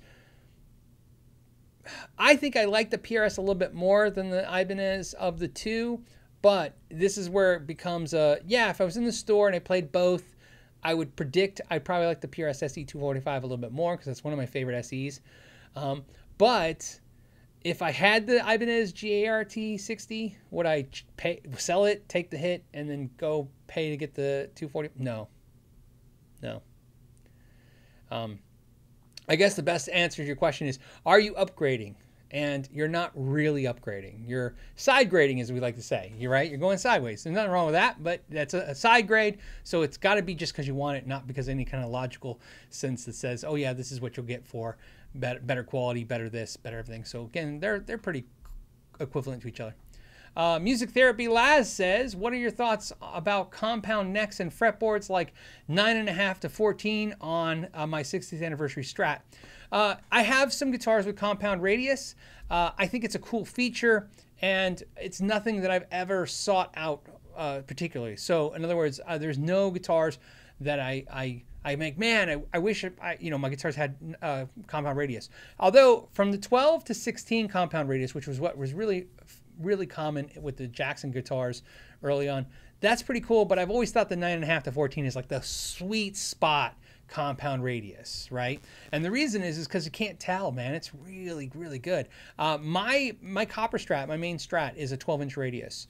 I love 12 inch radius. If I had a choice, well, see, I said I wouldn't choose compound radius, but I guess if I had a choice, I would have done 9.5 to 14. When I had my copper strat made at 12 inch radius, that was super, super exciting. I don't know why I'm quoting Cook. I'm super exciting. I don't know. It was super exciting because Fender didn't really offer a whole lot of guitars with 12 inch radius. At that time, when I bought that guitar custom from Fender, the only two production guitars I think came with 12 inch radius. It was the Eric Johnson and the Kenny Wayne Shepherd had 12 inch radius fretboards on the guitars. There might have been one other, two others, but that was mainly it. And um, uh, they didn't do compound radius. That was uh, that was something a Fender didn't even offer. It didn't exist. So. Um, that's so yeah i would have picked it then if i sure. But when i say i wouldn't pick it i wouldn't now you know get rid of my 12 inch radius fretboard to get a compound radius even though i like the nine the nine and a half to 14 big wave dave that's awesome. That should be a shirt man. You should have if i have, have if big wave my name was dave i would change it to big wave dave. Big wave dave sounds like a dude you want to invite to your party. You don't even know why just because that way you could tell everybody at the party, like, hey, Big Wave Dave's out, 15 minutes, he'll be here. People who don't even know Big Wave Dave would be like, oh man, I, I love that guy. So, anyways, Big Wave Dave says, uh, hey man, uh, you have heard, have you heard anything about the Electro Harmonix 50 watt amp? Uh, well, yeah, the the Electro Harmonix 50 watt amp that I'm thinking of is the one that's really the Sovtek amp. Sovtek is owned by Electro Harmonix and they've rebranded it the Sovtek amps to be Electro Harmonix. I could be totally off base, but I know that's a thing that is true. Um, I played the Electro Harmonix uh, 50 watt amp. What I can tell you is the Tone King bought one. and when he bought one, I said, Why did you buy one? And he's like, I don't know. And then uh, he sold it. So I asked him what he thought, and he said it was okay. Uh, I remember the Sovtek ones. I know uh, Josh Scott from JHS Pedals likes the Sovtek amps. Um, and so I, the Sovtek amps I played in the past were pretty cool. The Electro Harmonix is supposed to be the same thing, basically. So, uh, so that's what I've heard about it. I, I know Josh Scott likes his apparently. I know the Tone King did not like his apparently, um, and I have never really played one. Uh, every time I was at the NAMM show, it was so freaking loud that they were like, "You want to plug in?" I'm like, "What? what? What for?" I couldn't hear it. it's just you know, I'd be cranking it up. Uh, Okay, uh, Rasha Rasha 07 says uh, he's got a great question. I already know. I can see it. I, I love it. I love it already. Already says thin skin guitars gimmick question mark. How much more would it be?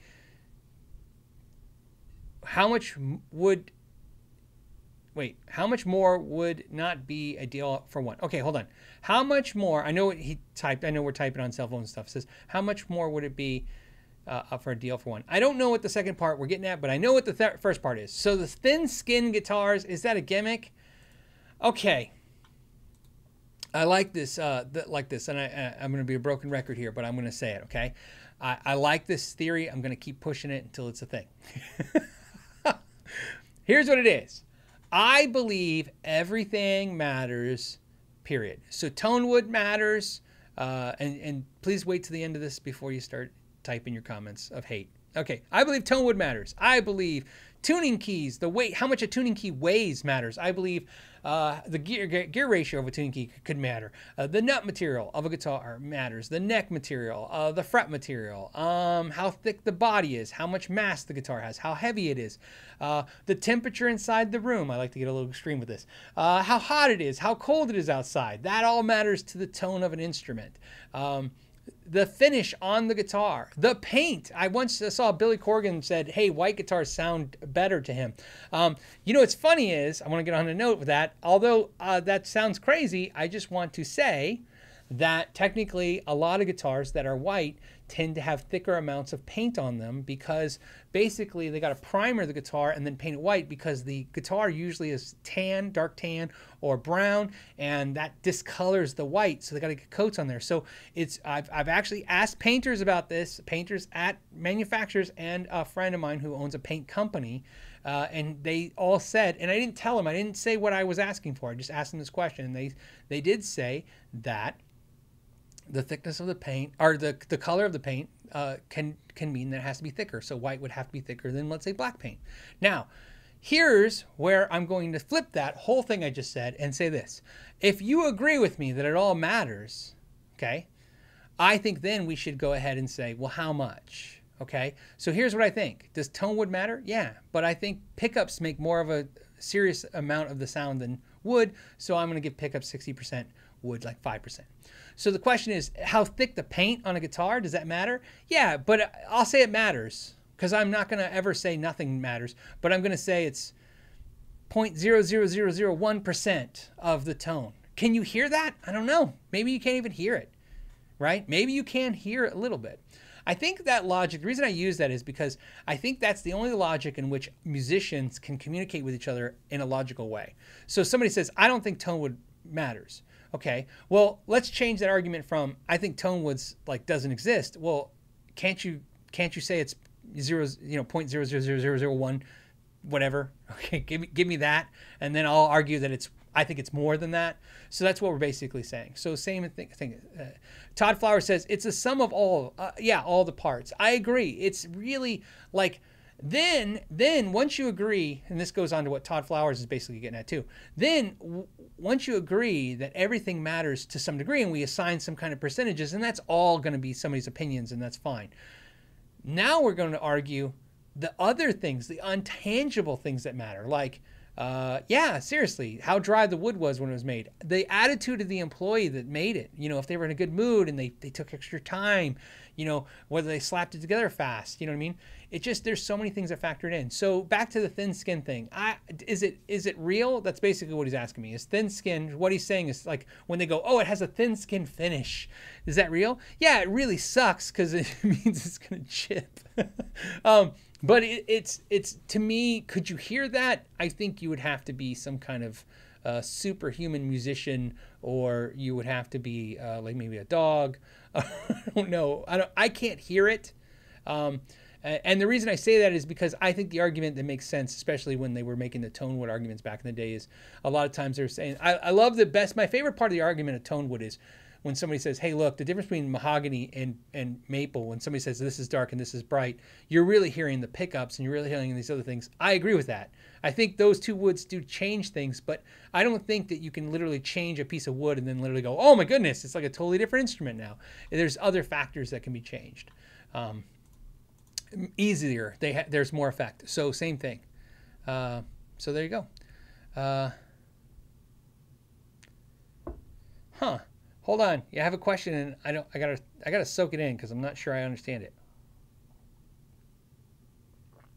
John. Oh, hold on. Great, John. Great, great point. John says. Uh, he says. I, I know he's probably saying something else, but he says it matters with acoustic guitars. Absolutely. Like I said last week, acoustic guitars are a different animal. Totally. I I hope I hope you guys understand that whatever I'm saying about electric guitars, uh, I'm not saying about acoustic guitars. So if, for instance, if his question was thin skin on acoustic guitars, which is not what I got from that, but it could be because you know obviously acoustic guitars do thin, thin skin finishes. Absolutely. Like I said, anything that that prevents the top from from vibrating, from resonating, is going to hinder the overall tone of the acoustic guitar. So yeah, so polyurethane versus lacquer. Like when people are like lacquer sounds better, sounds better. Um, yeah, on acoustics it does. I think it does. I think a lacquer acoustic, says lacquer acoustic sounds different to me than a polyurethane. When somebody says on an electric guitar it sounds different, I, I think that's like uh, again, you're you're you're great. Your dog ears are working for you. Good for you. You can hear crap I can't hear. So, um, and I've said this before. I'll say this again. Uh, Paul Reed Smith, I, Paul Smith. Uh, I've seen him personally when he's doing his talks about this stuff. And here's what I can tell you, and I've always said this: I don't agree with all that stuff right? And he talks about that stuff. I don't really go like when he's like, "Oh, you hear that?" And I'm like, uh, I, I, guess. But here's what I say: I think he hears it. I don't think it's as salesman as it sounds. I think he really believes it. My my take on him, and the reason is, is I, I've seen something that only probably a few of you have ever seen. I've seen how he is on a camera, and then they turn the camera off, and then it's like he, he's not he's not changing.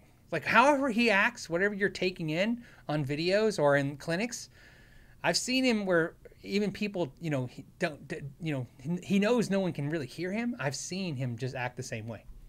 So again, doesn't mean I agree with it, but at least I, I believe, in my opinion, I believe he believes it. Uh, there is uh, guitar hack. Now I'm gonna hit guitar hack. This is the first time because he's gonna say he says this and he and he's and so you deserve this guitar hack. Says basic physics clears up tone debate real quickly. Basic psychology clears up women real quickly too, doesn't it? Oh wait, no, not at all. Hmm. That's the same problem. So the idea that I believe, the idea that somebody thinks they could figure something out, I, I think that's what I'm saying is it's ever evolving and there's to be little things. Uh, think about this. Until we had cameras, certain cameras, we couldn't see things. You know what I mean? So things we used to believe didn't exist until we got up cameras. So if you're going to use, and this is my whole point, if you're going to use, and I've seen this with other other other people too. If you're going to use science to debunk things in, in this category, you got to understand that science is going to change too. That's just how that works as we get as we get more uh, more information as the technology grows and stuff. So the physics and the science of it. Here's where it gets problematic. It doesn't equate for everything because um, there's some anomalies out there. You know what I mean? First of all, how about this? There's there's uh, here's my argument. Uh, again, I like arguments, so I'm gonna give you one. Um, Imagine playing one of Jimi Hendrix's strats now. I mean, they exist, right? They're on the planet Earth, a bunch of them. The ones he played at Woodstock, the ones he played. There's ones he played. Imagine picking one and playing it. Now, it's going to it's going to have a weird feeling. It's going to have a sound. It's going to have I mean, it's going to be an emotional thing when you're touching it and playing it.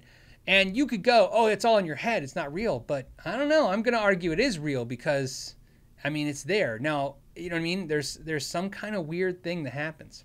So, so guitar hack again. I'm not saying you're wrong. I'm just saying I wanted to say that because every time it says somebody says physics proves it, I always say, well, psychiatry proves all kinds of things too. Uh, but that doesn't seem to work always. doesn't seem to work for me at least.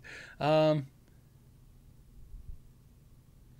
and oh, uh, okay. Anthony says, so what you're saying, I'm just going to read it. So what you're saying is Paul Reed Smith is as annoying off camera as uh, when he's on camera. Well, here's the deal. What I'm saying is, is if you think he's annoying or whatever you think of him on camera, that he is like that off camera. I've only had a couple interactions with him over the years, and um, and I will say, like I said, he's very consistent. um,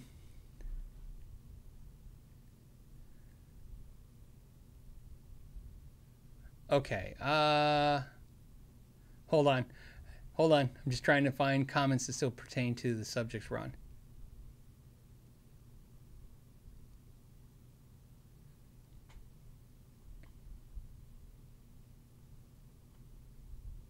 Yeah, you know, Jay Mason's saying, I bet those guitars would have a lot of little problems that only Jimi knew how to finesse. Yeah, exactly. Uh, it's weird.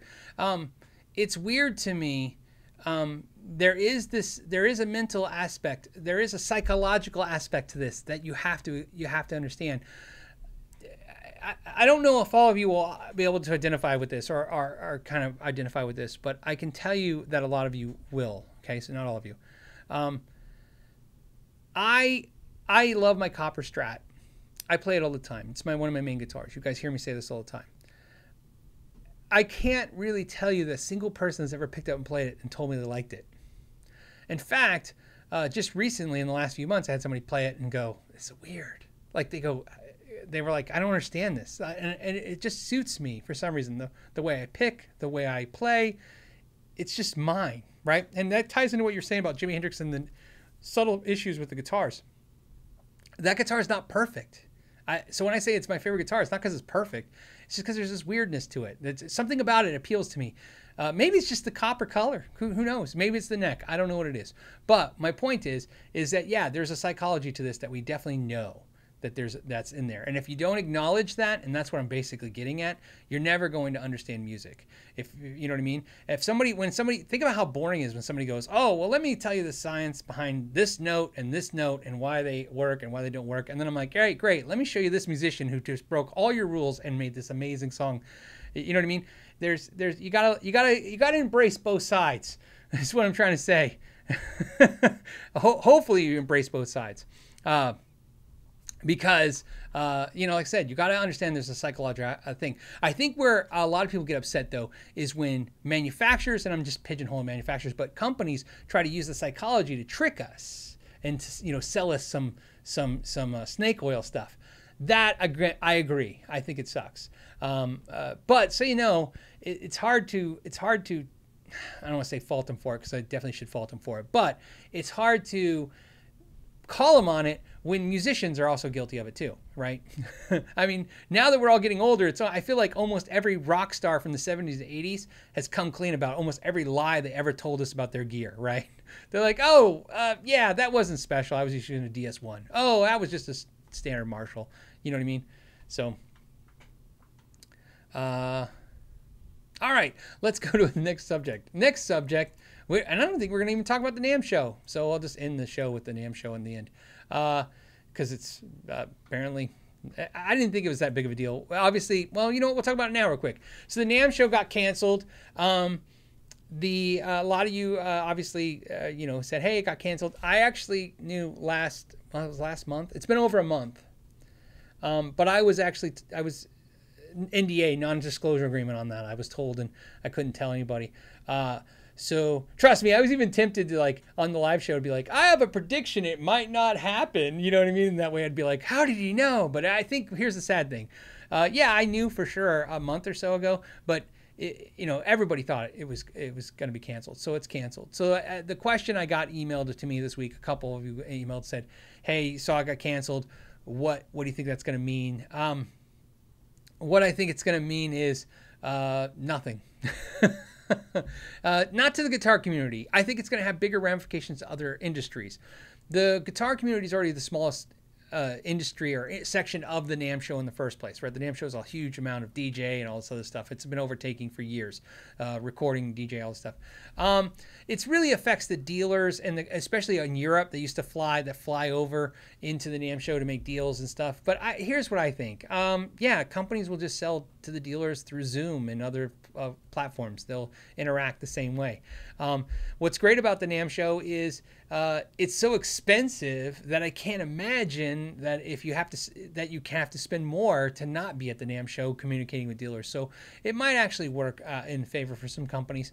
Um, the question for me on the NAMM show is whether or not this is a coffin nail in the NAMM show as a whole for the future going forward. I think no. I think eventually the NAMM show will go. But what I'm what I'm what I'm predicting right now is that if the NAMM show comes back in you know Winter NAMM 2022 it might be a smaller, but in the Anaheim Convention uh, Convention Center, but it'll be a smaller NAMM because I think less companies are going to to come. Uh, but I'm really, I think it was a good idea to close it. I think that it's not even about uh, COVID, even though you know that's what it's about. But I think uh, it's about the fact that you're going to probably have a low, low attendance, and that would be really. So think of this. This would really suck. Could you imagine if there's an AM show with a really, really low attendance, and the manufacturers are still paying huge, you know, huge amounts of money to be there, and really not getting uh, uh, anything back?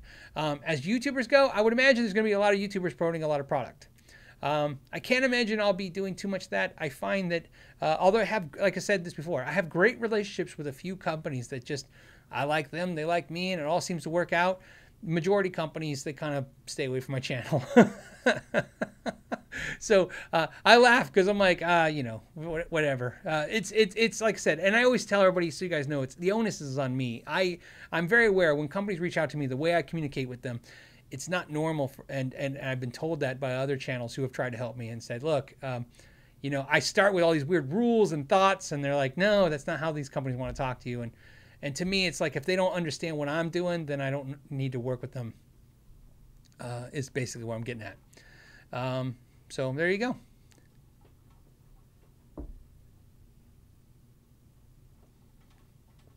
All right, hold on. Any thoughts on the NAMM show? Anyone?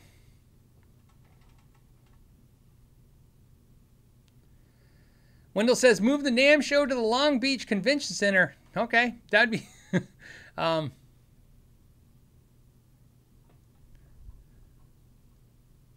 Todd says it's time to get back to work and living as normal. You know, here's the, and this is again, this is ties in uh, to what I think is going with NAMM. I don't even think, NAMM, again, I want to reiterate, I think the NAMM closing has some to do with an anticipation of, you know, restrictions from COVID and what it's going to be like to, to, to have masks and uh, the, the temperatures and whether or not stuff. But I don't think that's at the core what the main closing was for. I think it mainly closed because they probably probably looked and did some analytics, and what they figured out was they're probably looking at probably the lowest turnout of, of, of any NAMM in probably 20 years. And again, it becomes how how long do you have to recoup? Now the NAMM show would probably be fine. I don't know, but here's the thing you do not want to be a, a mid-sized company i mean the big companies are always going to be fine but you don't want to be a mid-sized small company paying 14000 to $50000 for a booth so that you only write, you know, $2,000 in tickets and sales.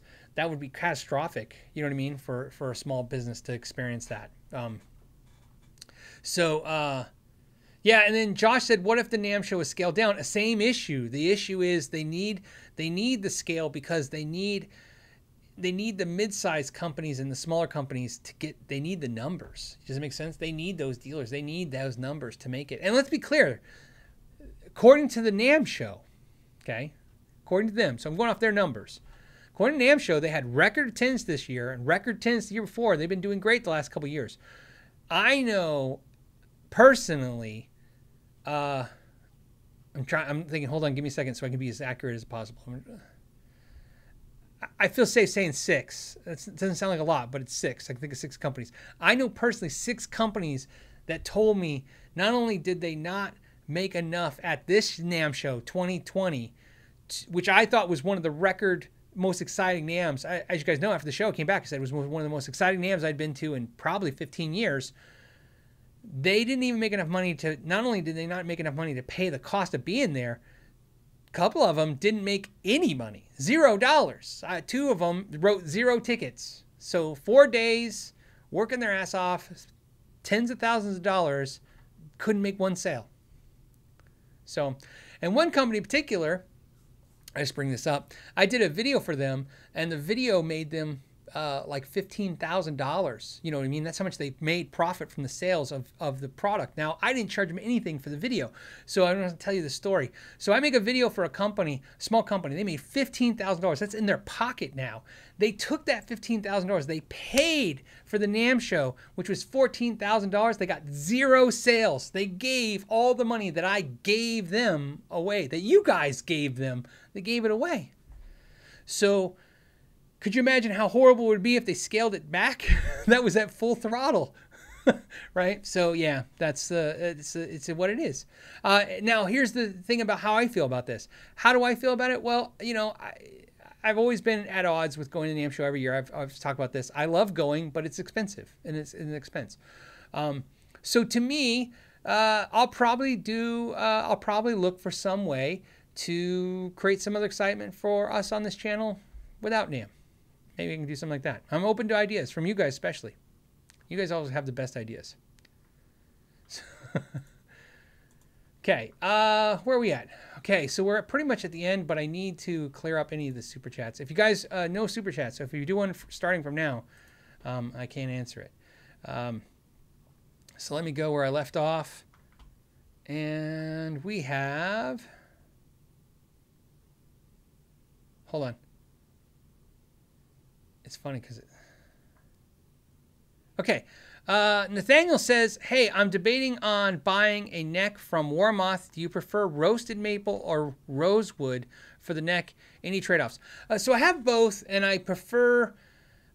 Uh, I probably prefer the roasted over the uh, the rosewood. The rosewood is my least favorite neck. Um, I have the blue one behind me, the blue strat behind me. I, am pointing at a blue strat, kind of. Um, I have two uh, rosewood necks right now. I have the red strat, which I'm selling because I don't like that one. I just never could get it to sound right. It sounds too too bright, which I think some people would like. That it has a lot of strat tone to it. This rosewood also has a little brightness to it that I don't love, but I like having a rosewood neck. It's kind of fun and exciting. But deep down, I think I prefer the roasted maple necks over the rosewood. Um, so there you go. The only logic I would give you to get roasted uh, rosewood is that you know obviously rosewood uh, is uh, more unique. You know what I mean? It's um, you know you don't see it as often. So there you go. Uh, trade-offs, uh, you know, there's they're both hardwoods. They're both gonna have the generally the same kind of effect the sound. So that's what I would think about. I like lightly roasted. As, in other words, I like roasted ne- necks that are, don't have a heavy, dark uh, roasting to them because I feel like once they roast them too dark, they get too uh, too bright, too hard sounding, harsh to the ears.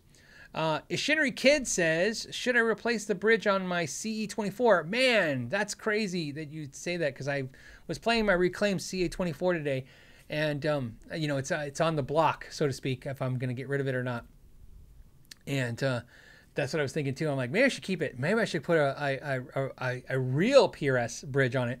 Here's what I'm, I'm concerned about. Um, let me tell you my thoughts, and then let's be very clear. My reasoning for putting a real PRS, uh, I'm, I'm, I'm just saying it that way because it's like a core bridge on there, is I like the tremolo arm better. I really hate how thin the tremolo arm is on the C24s. It's like just too, it's too, I feel like I have nothing to hold on to. That tremolo arm is so tiny.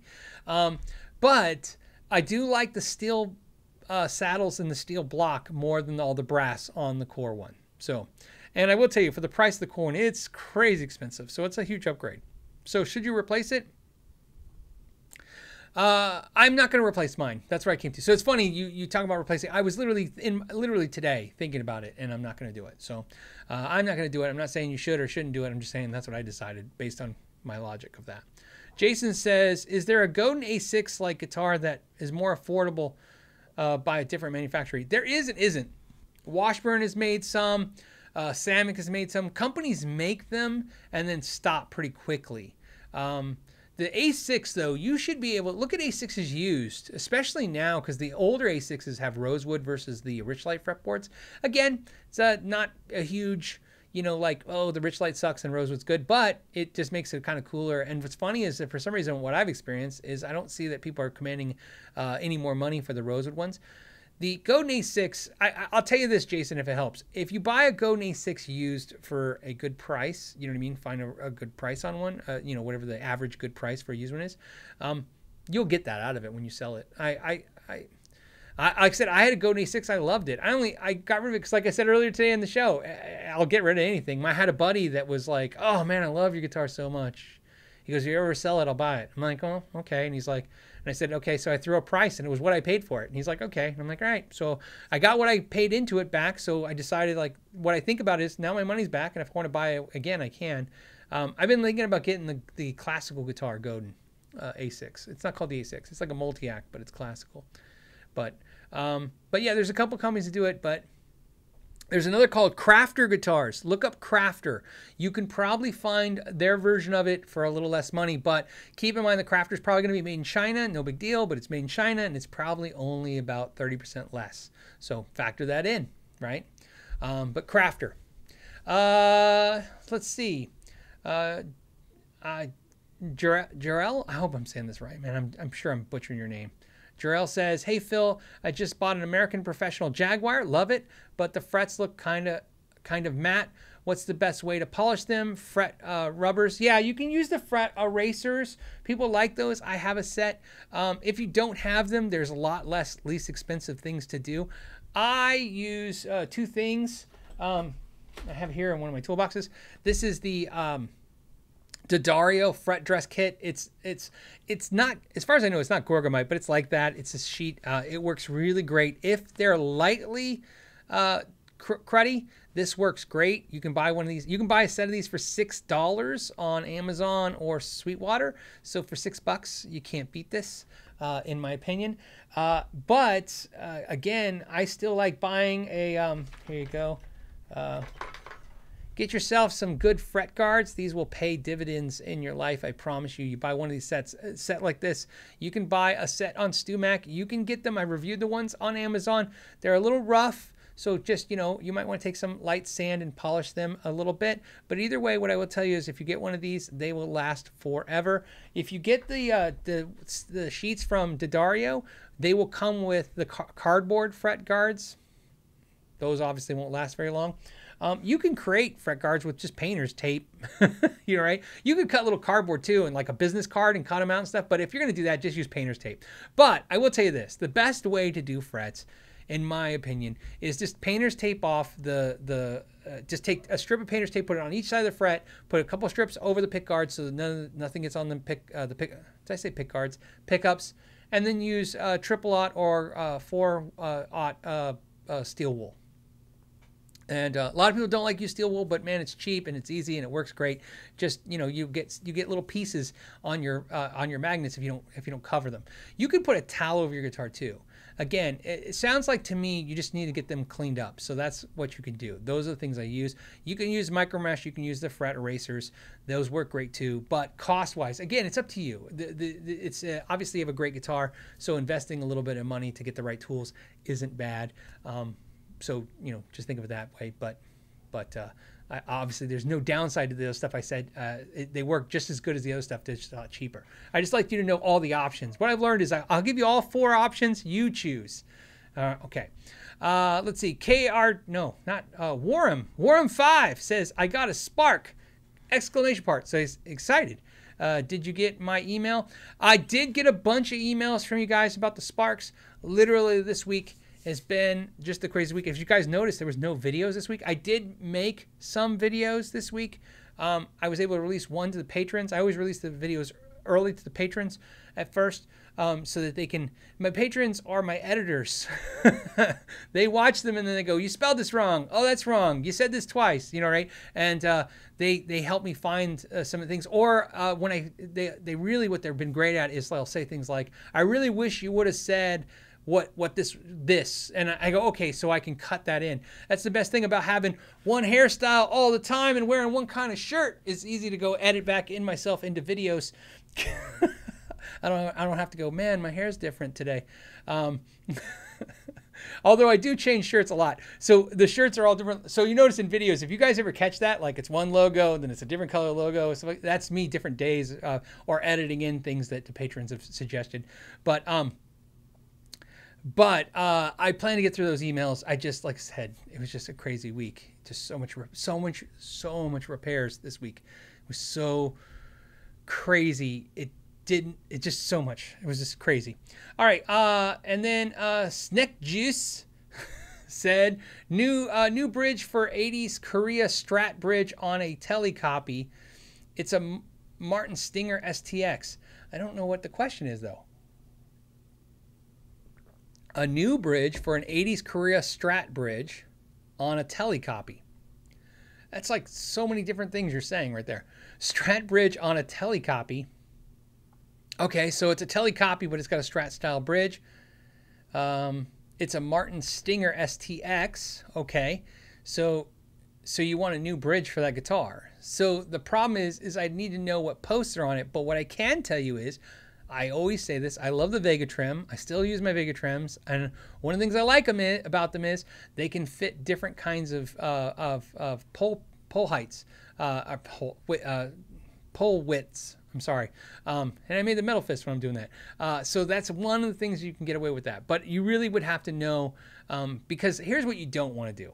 You don't want to have to yank the yank the the pole pieces out and then plug them and then you know because dowel them, plug them, re-drill them and reset them. You can, but you know, in today's day and age, look, all those mods that everybody does with guitars like that, that was because they didn't have the options we do. There's pretty much an option for everything. So it's up to you. It's usually a cost thing, right? But it, usually, if you buy a, you know, if you buy a bridge, a bridge is a bridge. So just buy the right bridge. Um, but I would recommend. I still recommend the VegaTrem a lot. Uh, Mark, Mark says nothing. He just did a super chat and said thank you. It's awesome. Uh, thank you. Um, so tip jar, thanks. Alex says uh, got a very special Heritage 576 hollow body. Sometimes the tone on the neck pickup works, and sometimes turning it does nothing. Any advice? Um, so that's interesting because uh, let's see, you're saying you turn it and it works, and then when you turn it, sometimes you turn it, it's not working. And uh, I'm taking that as when you turn the tone control, you're not hearing anything. And uh, that could be because it's shorting out. And so, one of the things I would do first, again, Occam's razor, simplest solution could be the easiest one, given all things being equal.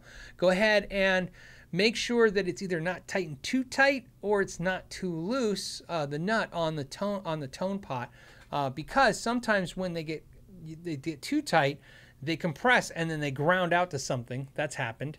Or sometimes if they're too loose, it's it, when you're turning it, it's shifting and touching something and grounding out, and and then not. Uh, and then once you ground it out, it's not going to work. It's not going. to. It's going to be out of the circuit, so to speak.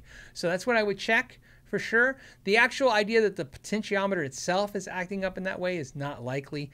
The uh, it's not likely that at one point it's making contact contact with it and then at one point not. So my guess is that it's moving. It's either because it's moving underneath there, so you need to tighten it, or it's um, it's just clamped down the holy crap. so, uh, so like I said, you'll know if it's really tight, just loosen it just a hair. Don't make it loose, just loosen it. And if it's loose, tighten it. And then also, uh, if you have a dental mirror, if you have a mirror like this, if a little mirror, it would be a really good idea if you could uh, stick it in the sound hole. Uh, in one of the F holes of the guitar, and when you're turning it uh, on there, try to see the potentiometer, see if it's moving, and uh, try not to get it to move. so there you go. Sometimes you have to kind of work a pinky in there and hold it against the potentiometer. It's kind of a it's kind of a bear, but it's not impossible for for anyone to do. Uh, Sparkle Tune official says bought a Roman Magic Twanger 425 USA Flame Top Thin Line. Whoa! And then the screen just jumped. It just jumped. okay, it says uh, Thin Line Duncan Blackouts. Uh, do you know what's the secret to them? Closest to my 69 Tele I have found. Uh, do I know what the secret is to the blackouts or to the Roman magic twanger? Um, the, the Duncan blackouts, to me, in my opinion, sound like how I remember 80s EMG sounding. New EMGs don't sound the same to me, the 8185 sets. They don't sound the same the, uh, as they used to, and the blackouts sound more like the old EMGs than the old e- or the new EMGs. So maybe that's what it is. Um, but again, it could be just the the the the way the guitar is made too, because it's weird because you're saying it's like closest to your 69 telly, but it's a blackout, it's an active pickup. But that's just proof that you know, new pickups can sound old and old pickups can sound new. I don't know. Scott says looking for a 2016 Fender American limited edition standard Telecaster with rosewood neck for $1,200. Worth it? So he's looking at that. Um, I'm gonna say, okay. So I, right now, I told you prices are up. Right now, 12 sounds right for the market, but I would bet you just two months ago was a thousand bucks. Um, I paid, I think I paid 11 or a thousand, thousand-ish to 11 for my red Strat with the rosewood neck, which is the counterpart to that. So mine's a red 2016 Strat. Um, and uh, so yours is uh, the, the Telecaster with the rosewood neck. It's probably the surf green one, I would assume. Uh, so it's this it's the sister brother to that guitar. And so 12 seems high, but again, in current market right now, it sounds about right. So is it worth it? Uh, yeah, you know, I, will tell you right now, I bought the red Strat with the rosewood neck because I wanted the surf green Telecaster with rosewood neck, but I have another surf green Telecaster and I didn't want two surf green Telecaster and I didn't want to get rid of the one I had. So I would have bought that. I think if I would have bought that, I would have kept it. so yeah, Worth it if you want it. It's a cool guitar for sure. It's cool. Uh, Craig says uh, a coffee. Thanks for the one watt amp advice uh, last week. Oh, and it jumped. I got uh, I got both. Uh, the, the G10 Creamback and the Loop Volume Knob, they both worked really well. Awesome to hear. I always like hearing feedback on stuff like that, guys. I appreciate it. Um, Al says, I'm tossed between an Epiphone Dot and a D'Angelico Premier. Both sound good and the feel is good. I'm wondering about how good the uh, and lasting they are. Um, so, I mean, again, you know, things change, factories change, things change. The Epiphones in the past, the Epiphone Dots in the past were uh, obviously held up really well and they're very good guitars. Uh, D'Angelico's uh, newer to the market for what they currently make than I think of when I think of Epiphone. Uh, but I would imagine they're on par for the quality. Probably made in the same factory. They're not, but you know what I mean. Same equivalent style type factory. So there you go. Um, to me, it's an easy answer. I like the Epiphone Dot more personally, but I think D'Angelico's got kind of, or D'Angelico, depending on how you want to say it, but D'Angelico, it's got that, uh, uh, uh, oh, D'Angelo. You said D'Angelo. Is it D'Angelo or D'Angelico? Either way, I don't know. Either way. Um, but cool. I, like I said, I'm, I'm I, I want an Epiphone Dot. So I'm kind of biased right there. Let's start there. John Smith says Gibson is my favorite headless guitar brand. Unintentionally. Unintentionally, the, the favored uh, headless guitar brand. Uh, let's see. Pedro says, I got a Martin uh, a Triple Aught 15 after your advice. I'm loving it. How should I install the strap button that came with it? Or should I not? Uh, might want to install a pickup in it later on, so uh, don't know if uh, that is a factor. Um, okay, so the question is, you want to install the strap buttons that came with it? I'm doing off memory. That guitar doesn't. Does it have two strap buttons? Does it have? I know it has one at the base at the bottom, but does it have one? Um, if it if it has both, then what I would do is uh, get the correct drill bit uh, that matches up to the new screws and then install them just where the old ones are. But if you're asking me because the, there's no strap button towards the front, I don't want to give you that advice over a over a you know podcast communication. That's something you definitely want a, a video um, because there's a couple things you have to pay attention to when you're drilling into that part of the neck, um, especially uh, especially with the, nicer guitars like that. Okay, you don't want to get that wrong. So what I will tell you is this: if you do need to install that strap button, I can't tell you because I don't know where you live and I don't know your circumstances and the environments you're in. But I mean, uh, but uh, I, I, install I install strap buttons for fifteen dollars on a guitar like that. It's it's it, I have a bench fee, so it's fifteen dollars to put something on the bench. So I would tell you uh, if you were uh, local to have somebody like me do it for fifteen bucks. It, will pay its weight in gold because again, um, I install them predetermined by the types of guitars, the types of models. Um, Jeff says, uh, did the PRS Music School this week? Oh, awesome. I was hoping somebody would talk about that. Uh, says, it was awesome. They will be selling uh, Replay Worth It. Oh, they're going to sell the Replay. Okay. Questions? Question: Ever used PRS customer support? Got issues with finish? Okay, so a couple things. Yeah. Um. So I, the is the Replay worth it? It would depend on how much they charge for it, right? I mean, I think it seems like it's worth it. I'd be interested in seeing the the replay of it. Um, but again, it would have to be reasonable. You know what I mean? Uh, in today's day and age. Uh, hopefully it's 20 bucks. I don't know. I don't know what they're going to charge for that. Um, or depends on what they're doing the fun, the money. If they're going to, you know, feed the musicians with it and stuff, that'd be kind of cool too. Again, those are two things I'd factor in. Uh, question: Ever use customer PRS customer support?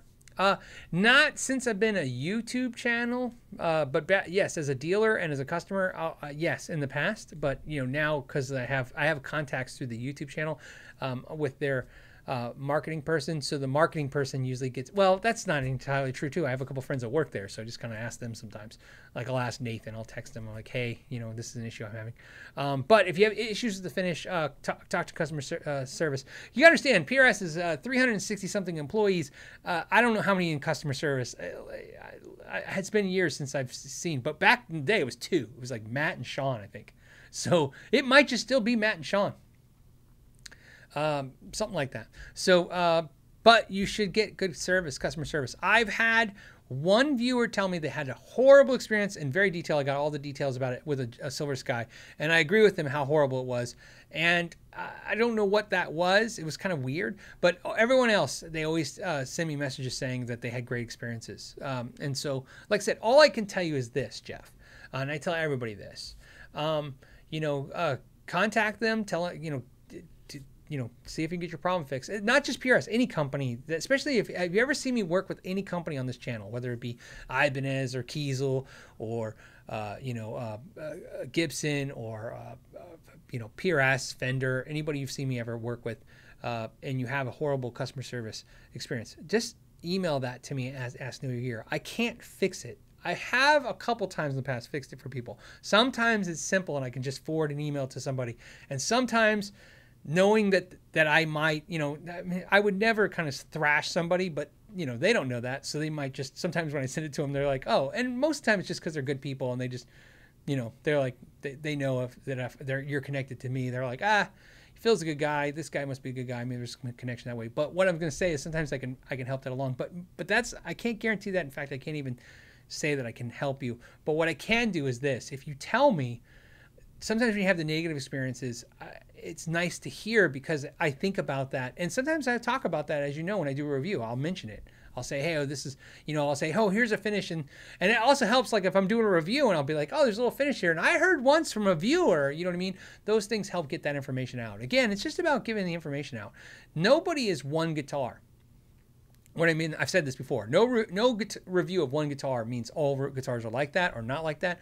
No review of one company means all experiences are like that. So, but when I do reviews, unfortunately, my videos, uh, like a lot of channels, when you do these reviews, your video is your timestamp. It's this. It's uh, so if I have a good experience, it's like 10,000 people see a great experience. If I have a bad experience, 10,000 see a bad experience. I want the I want the videos over time to be as accurate as possible with the experience I'm having. You know what I mean? Or we're having as a community. You know what I mean? So, so yeah, just uh, let me know. Finish issues. Look, I, I really believe this. So, you know, I really believe that PRS uh, not only has finish issues, but they knew it. Uh, or they know it, and that's why they've changed the nitrocellulose lacquer.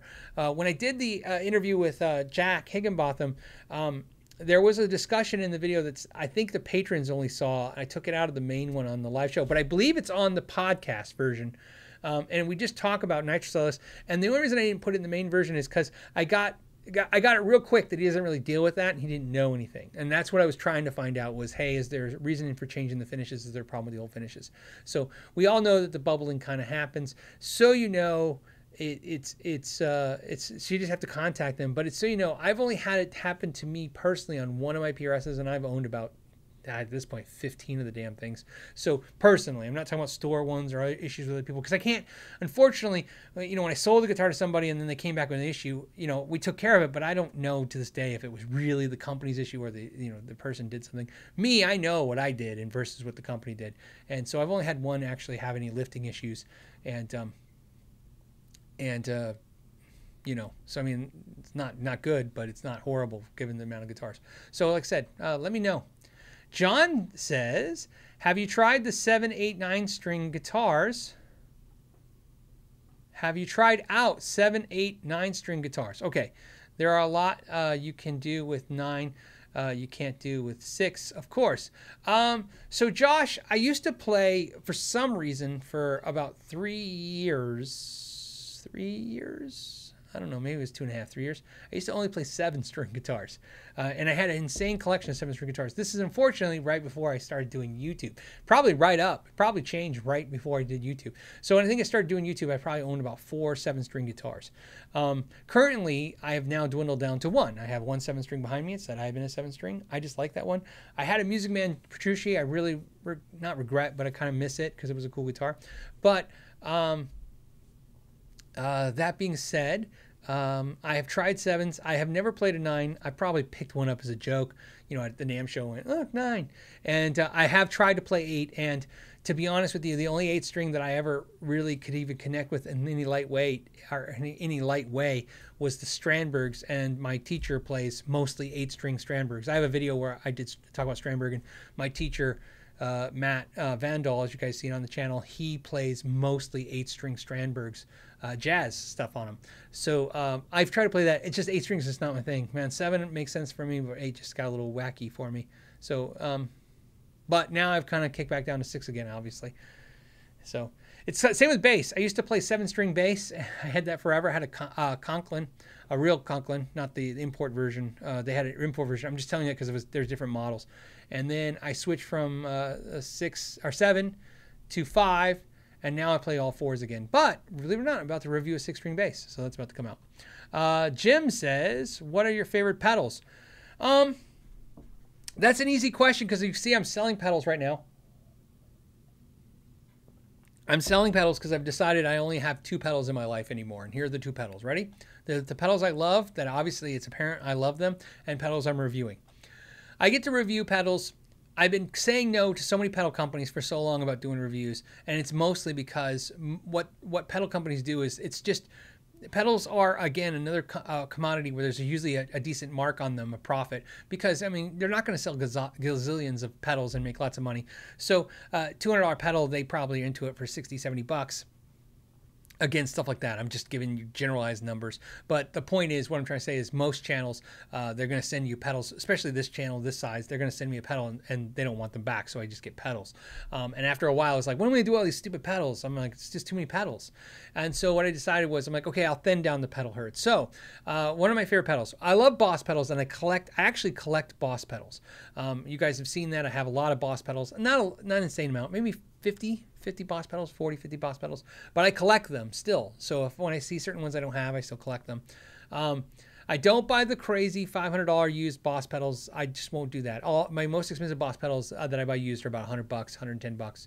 Uh, you know, I, I, collect them because they're fun and they're obtainable and it's fun to check them out.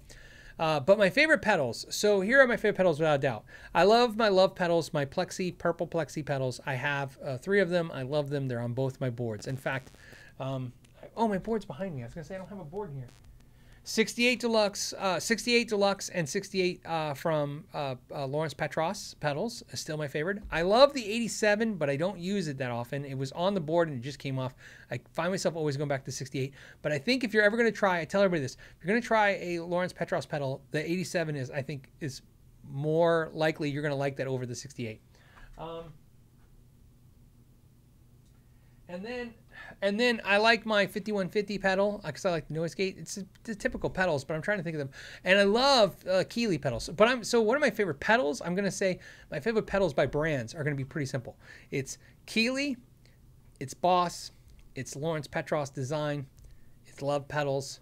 Those are probably my favorite brands of pedals by far that I use the most. Um, and I'm pretty habitual on this. Uh, most of the pedals, all the all four of those pedals, what I can tell you is I've been using all four of those brands of pedals very consistently for many years. Uh, Wes Shipman says, "Love the channel. Thank you, buddy. One question: Will a Fender pre-wired pickguard, vintage noiseless, fit in a Squier Affinity?" Okay, so this uh, yes and no okay so i got to tell you the yes and no what is possible so let me tell you what the possible problems are and then you can deal with that from from there on the Squier affinity line uh, some of them depending on the years could be thinner than a normal fender so and the and the um, the noiseless pickups are thick they're thicker than normal uh, single coil. So you could run into a problem where you go to push the pickguard in and just with the wiring and everything, it's just not it's not deep enough. The cavity's not deep enough. It is not likely, is definitely with a bullet, you'd be a problem, but not likely. So you may want to measure that. Uh, I, I've done it before. I've installed good pickups like that in Affinities and never had a problem. I just, again, I just want to, you know, let you know that there's a one in one in a million, well, one in a hundred shot that you might have. It might be too, the cavity might not deep, be deep enough, be deep enough. Uh, other than that, here are the other problems you're going to come across that are possible. The screw holes are not going to line up. The good news is is that they're going to cover all the old screw holes, so you're just going to have to drill new screw holes. Okay, and then if you ever take the pick guard out and put the old pick guard on, that'll hold all the new screw, that will hide all the old screw holes that you you know drilled in. So there's nothing wrong with drilling some new screw holes. Um, the bridge should line up and the neck should line up fine. You shouldn't have any other problems. So like I said, that's your two issues: depth and then of course screw holes might not line up. Now, The newer, the more newer your affinity, the more likely it's going to be right. Okay, uh, Fender has actually been moving forward. They've been getting better at lining up some Squier stuff to the Fender stuff. The older your Squier is, the more chance that it's not going to line up with Fender because they used to not uh, look at that that way. Fender Fender used to look at Squier as different, and now they're trying to you know sync them up a little bit more. Uh, Rasha says, "Thank you for the feedback and for the tip jar." Oh man, thank you, I appreciate that. And then uh, these are my last super chats, so this is it. Uh, uh, Gabriel says, Hey Phil, looking for a low wattage amp at home that will sound close to my twin custom 65. I'm playing an archtop guitar with a headrush board for effects. Thanks dude, I I gotta tell you, if you want a low wattage uh, amp that's gonna give you the great Fender kind of twin uh, custom sound, the clean sound, uh, definitely look at the the Blues Junior or the Princeton. Those are the two. Uh, the Blues Junior will probably have the fatter sound. I mean, again, you're looking for the low wattage small amp. That that would I would look at those. Uh, they sound great. Um, especially if you're trying to duplicate that amp. You can get cheaper stuff. You can get stuff that sounds good that's less money, but those two amps are great, especially you can pick them up used. Blues Junior, you should be able to pick up used for 400 bucks even in the current market. Um, so Blues Junior or the uh, Princeton. The Princeton to me has got more of that compressed kind of sound, which is nice. Um, the 68 even more so, more compressed like a Bassman, uh, and the uh, 65 uh, uh, Princeton is a little different. The reverb on this on the on both those amps are great. I think you'd be happy. Stick with Fender, make that easy. And again, they're relatively not crazy price, even brand new. Uh, going to run you uh, 900 to 1,000 bucks new, and the uh, Blues Junior can be as high as almost 700 dollars new, uh, six six range. Uh, Warren Five says effects of stainless steel stainless strings on stainless frets. Uh, you should be no no effect whatsoever uh, believe it or not, that it's uh, it's okay. Like, right? I know what you're thinking. You know, you're thinking, okay, hardest the, the hard the hardness of both are equal, and they're not. Uh, I believe I would bet that uh, if I was a betting man, uh, that the stainless steel frets are slightly harder than the string steel, um, steel. Uh, and uh, but either way, either way, I've never seen any negative effects of them. Um, uh, you know those being used together. Although I once heard a story. This is true. I once heard a story. I it's a story. It's a story. I once heard a story from somebody who worked at EVH, and they said that when they made the first Wolfgangs with stainless steel uh, frets and they put stainless steel strings, uh, Eddie was complaining that when he was bending there was friction, and they said that's impossible, and he kept complaining, and so they changed the strings, uh, new strings, and then he said, "Okay, you fixed it. It's great now." Um, and they said, "Okay, that's weird." And they looked at the package, and they apparently put nickel, uh, nickel wound strings on there, and they're like, "That doesn't make any sense." And so they put the took the nickel off, put stainless back on, and then Eddie didn't know this, and then Eddie played, and he said, "No, it's it's it's back again. Whatever you did, it's back. It's not it's not bending correctly. It's friction." And so they called back to headquarters and they talked to their you know, their guru of frets and stuff. And, and, and he said, I told him what happened. And he said, well, technically, I guess if steel, two stainless steel uh, surfaces rub, there can be a gas admitted off. And then that's creating friction. This is a weird story. I'm just sharing it because it was the weirdest story I ever heard. And I heard it from the EVH guys. I don't know if just crap they were trying to start or whatever they were doing, or it really happened. Who knows? But they said that's what happened. Um, I always think about that when somebody asks me that now, but me personally, I've never seen it before. Stainless steel strings on stainless steel frets are fine. Uh, think of this: you put nickel strings on nickel frets, they're fine. Stainless steel strings on stainless steel frets are fine as well. Uh, Frederick John says, "What's your favorite guitar that you own?" Uh, easy. My favorite guitar that I own is, eh, without a doubt, uh, I always say two because it's just they're on par. They're same. My PRS Mira, my my core, my 2000, I want to say it's 2013, could be a 2012. 2012, 13 Mira guitar, which is their basic PRS guitar. That's that's my love of PRS, by the way. I have their basic model that they don't make anymore. I love it. I have a backup for it because I like it that much. I wore the frets and refretted it uh, just recently in the last like eight months. I had to refret it uh, for the first time. Uh, and that's my uh, favorite guitar. My second favorite is my Copper Strat. And when I say second favorite, I've, tell, I've told my wife this. This is a true story. I told my wife, I go, hey, if there's ever, you got to grab a guitar and run out of the house, just grab one. I don't give which one. That's a good catch. Don't care which one, just grab one of those. That's my favorite guitars. Uh, which I think is I think is common with a lot of players, especially if you you know you collect up all these guitars and everyone's like, what do you need those guitars for? I, I don't need any of this stuff because literally I could just play those two guitars for the rest of my life and be happy. I just love playing tellies though, and those are probably what I like to play the most when I'm not playing those guitars. Uh, but those are my that's my favorite guitars, either the Mira or the Strat, and it's equal. It's definitely equal. If, if you ask me which one's my favorite, it'd be literally whichever one's closest to me. Which is, by the way, that's my trick for my kids too. Here's a tip for you fathers out there uh, when your kids ask you, well, Dad, which one do you love the most? I always tell them, I go, whoever's closest, that's the one I love the most. it's true. So it works. All right. And then the last question I'm going to answer today is from John, who says, No answer necessary. Well, that's going to be exciting. But, uh, but you cannot answer my question next week if that helps. We're going to end on a, a, funny note. All right. That was fun. A great way to end the show. Um, and then uh, Tito, and just because he put a comment, he says, Thanks for the cool clubhouse you built and all the cool knowledge you drop. So many useful tips I've learned uh, from you, buddy. Thank you. I, I like I said, I want to thank you guys back. appreciate this Friday hangout. I was going to do a bonus one this week on Wednesday. I kind of I felt bad that I didn't do it. I'm going to try and do next week, do a live bonus live show, do something a little different. As always, guys, I want to thank you so much for your time and uh, have a great weekend. And uh, until uh, next Friday, or maybe possibly Wednesday, but probably next Friday, uh, know your gear. Oh, let me end the stream.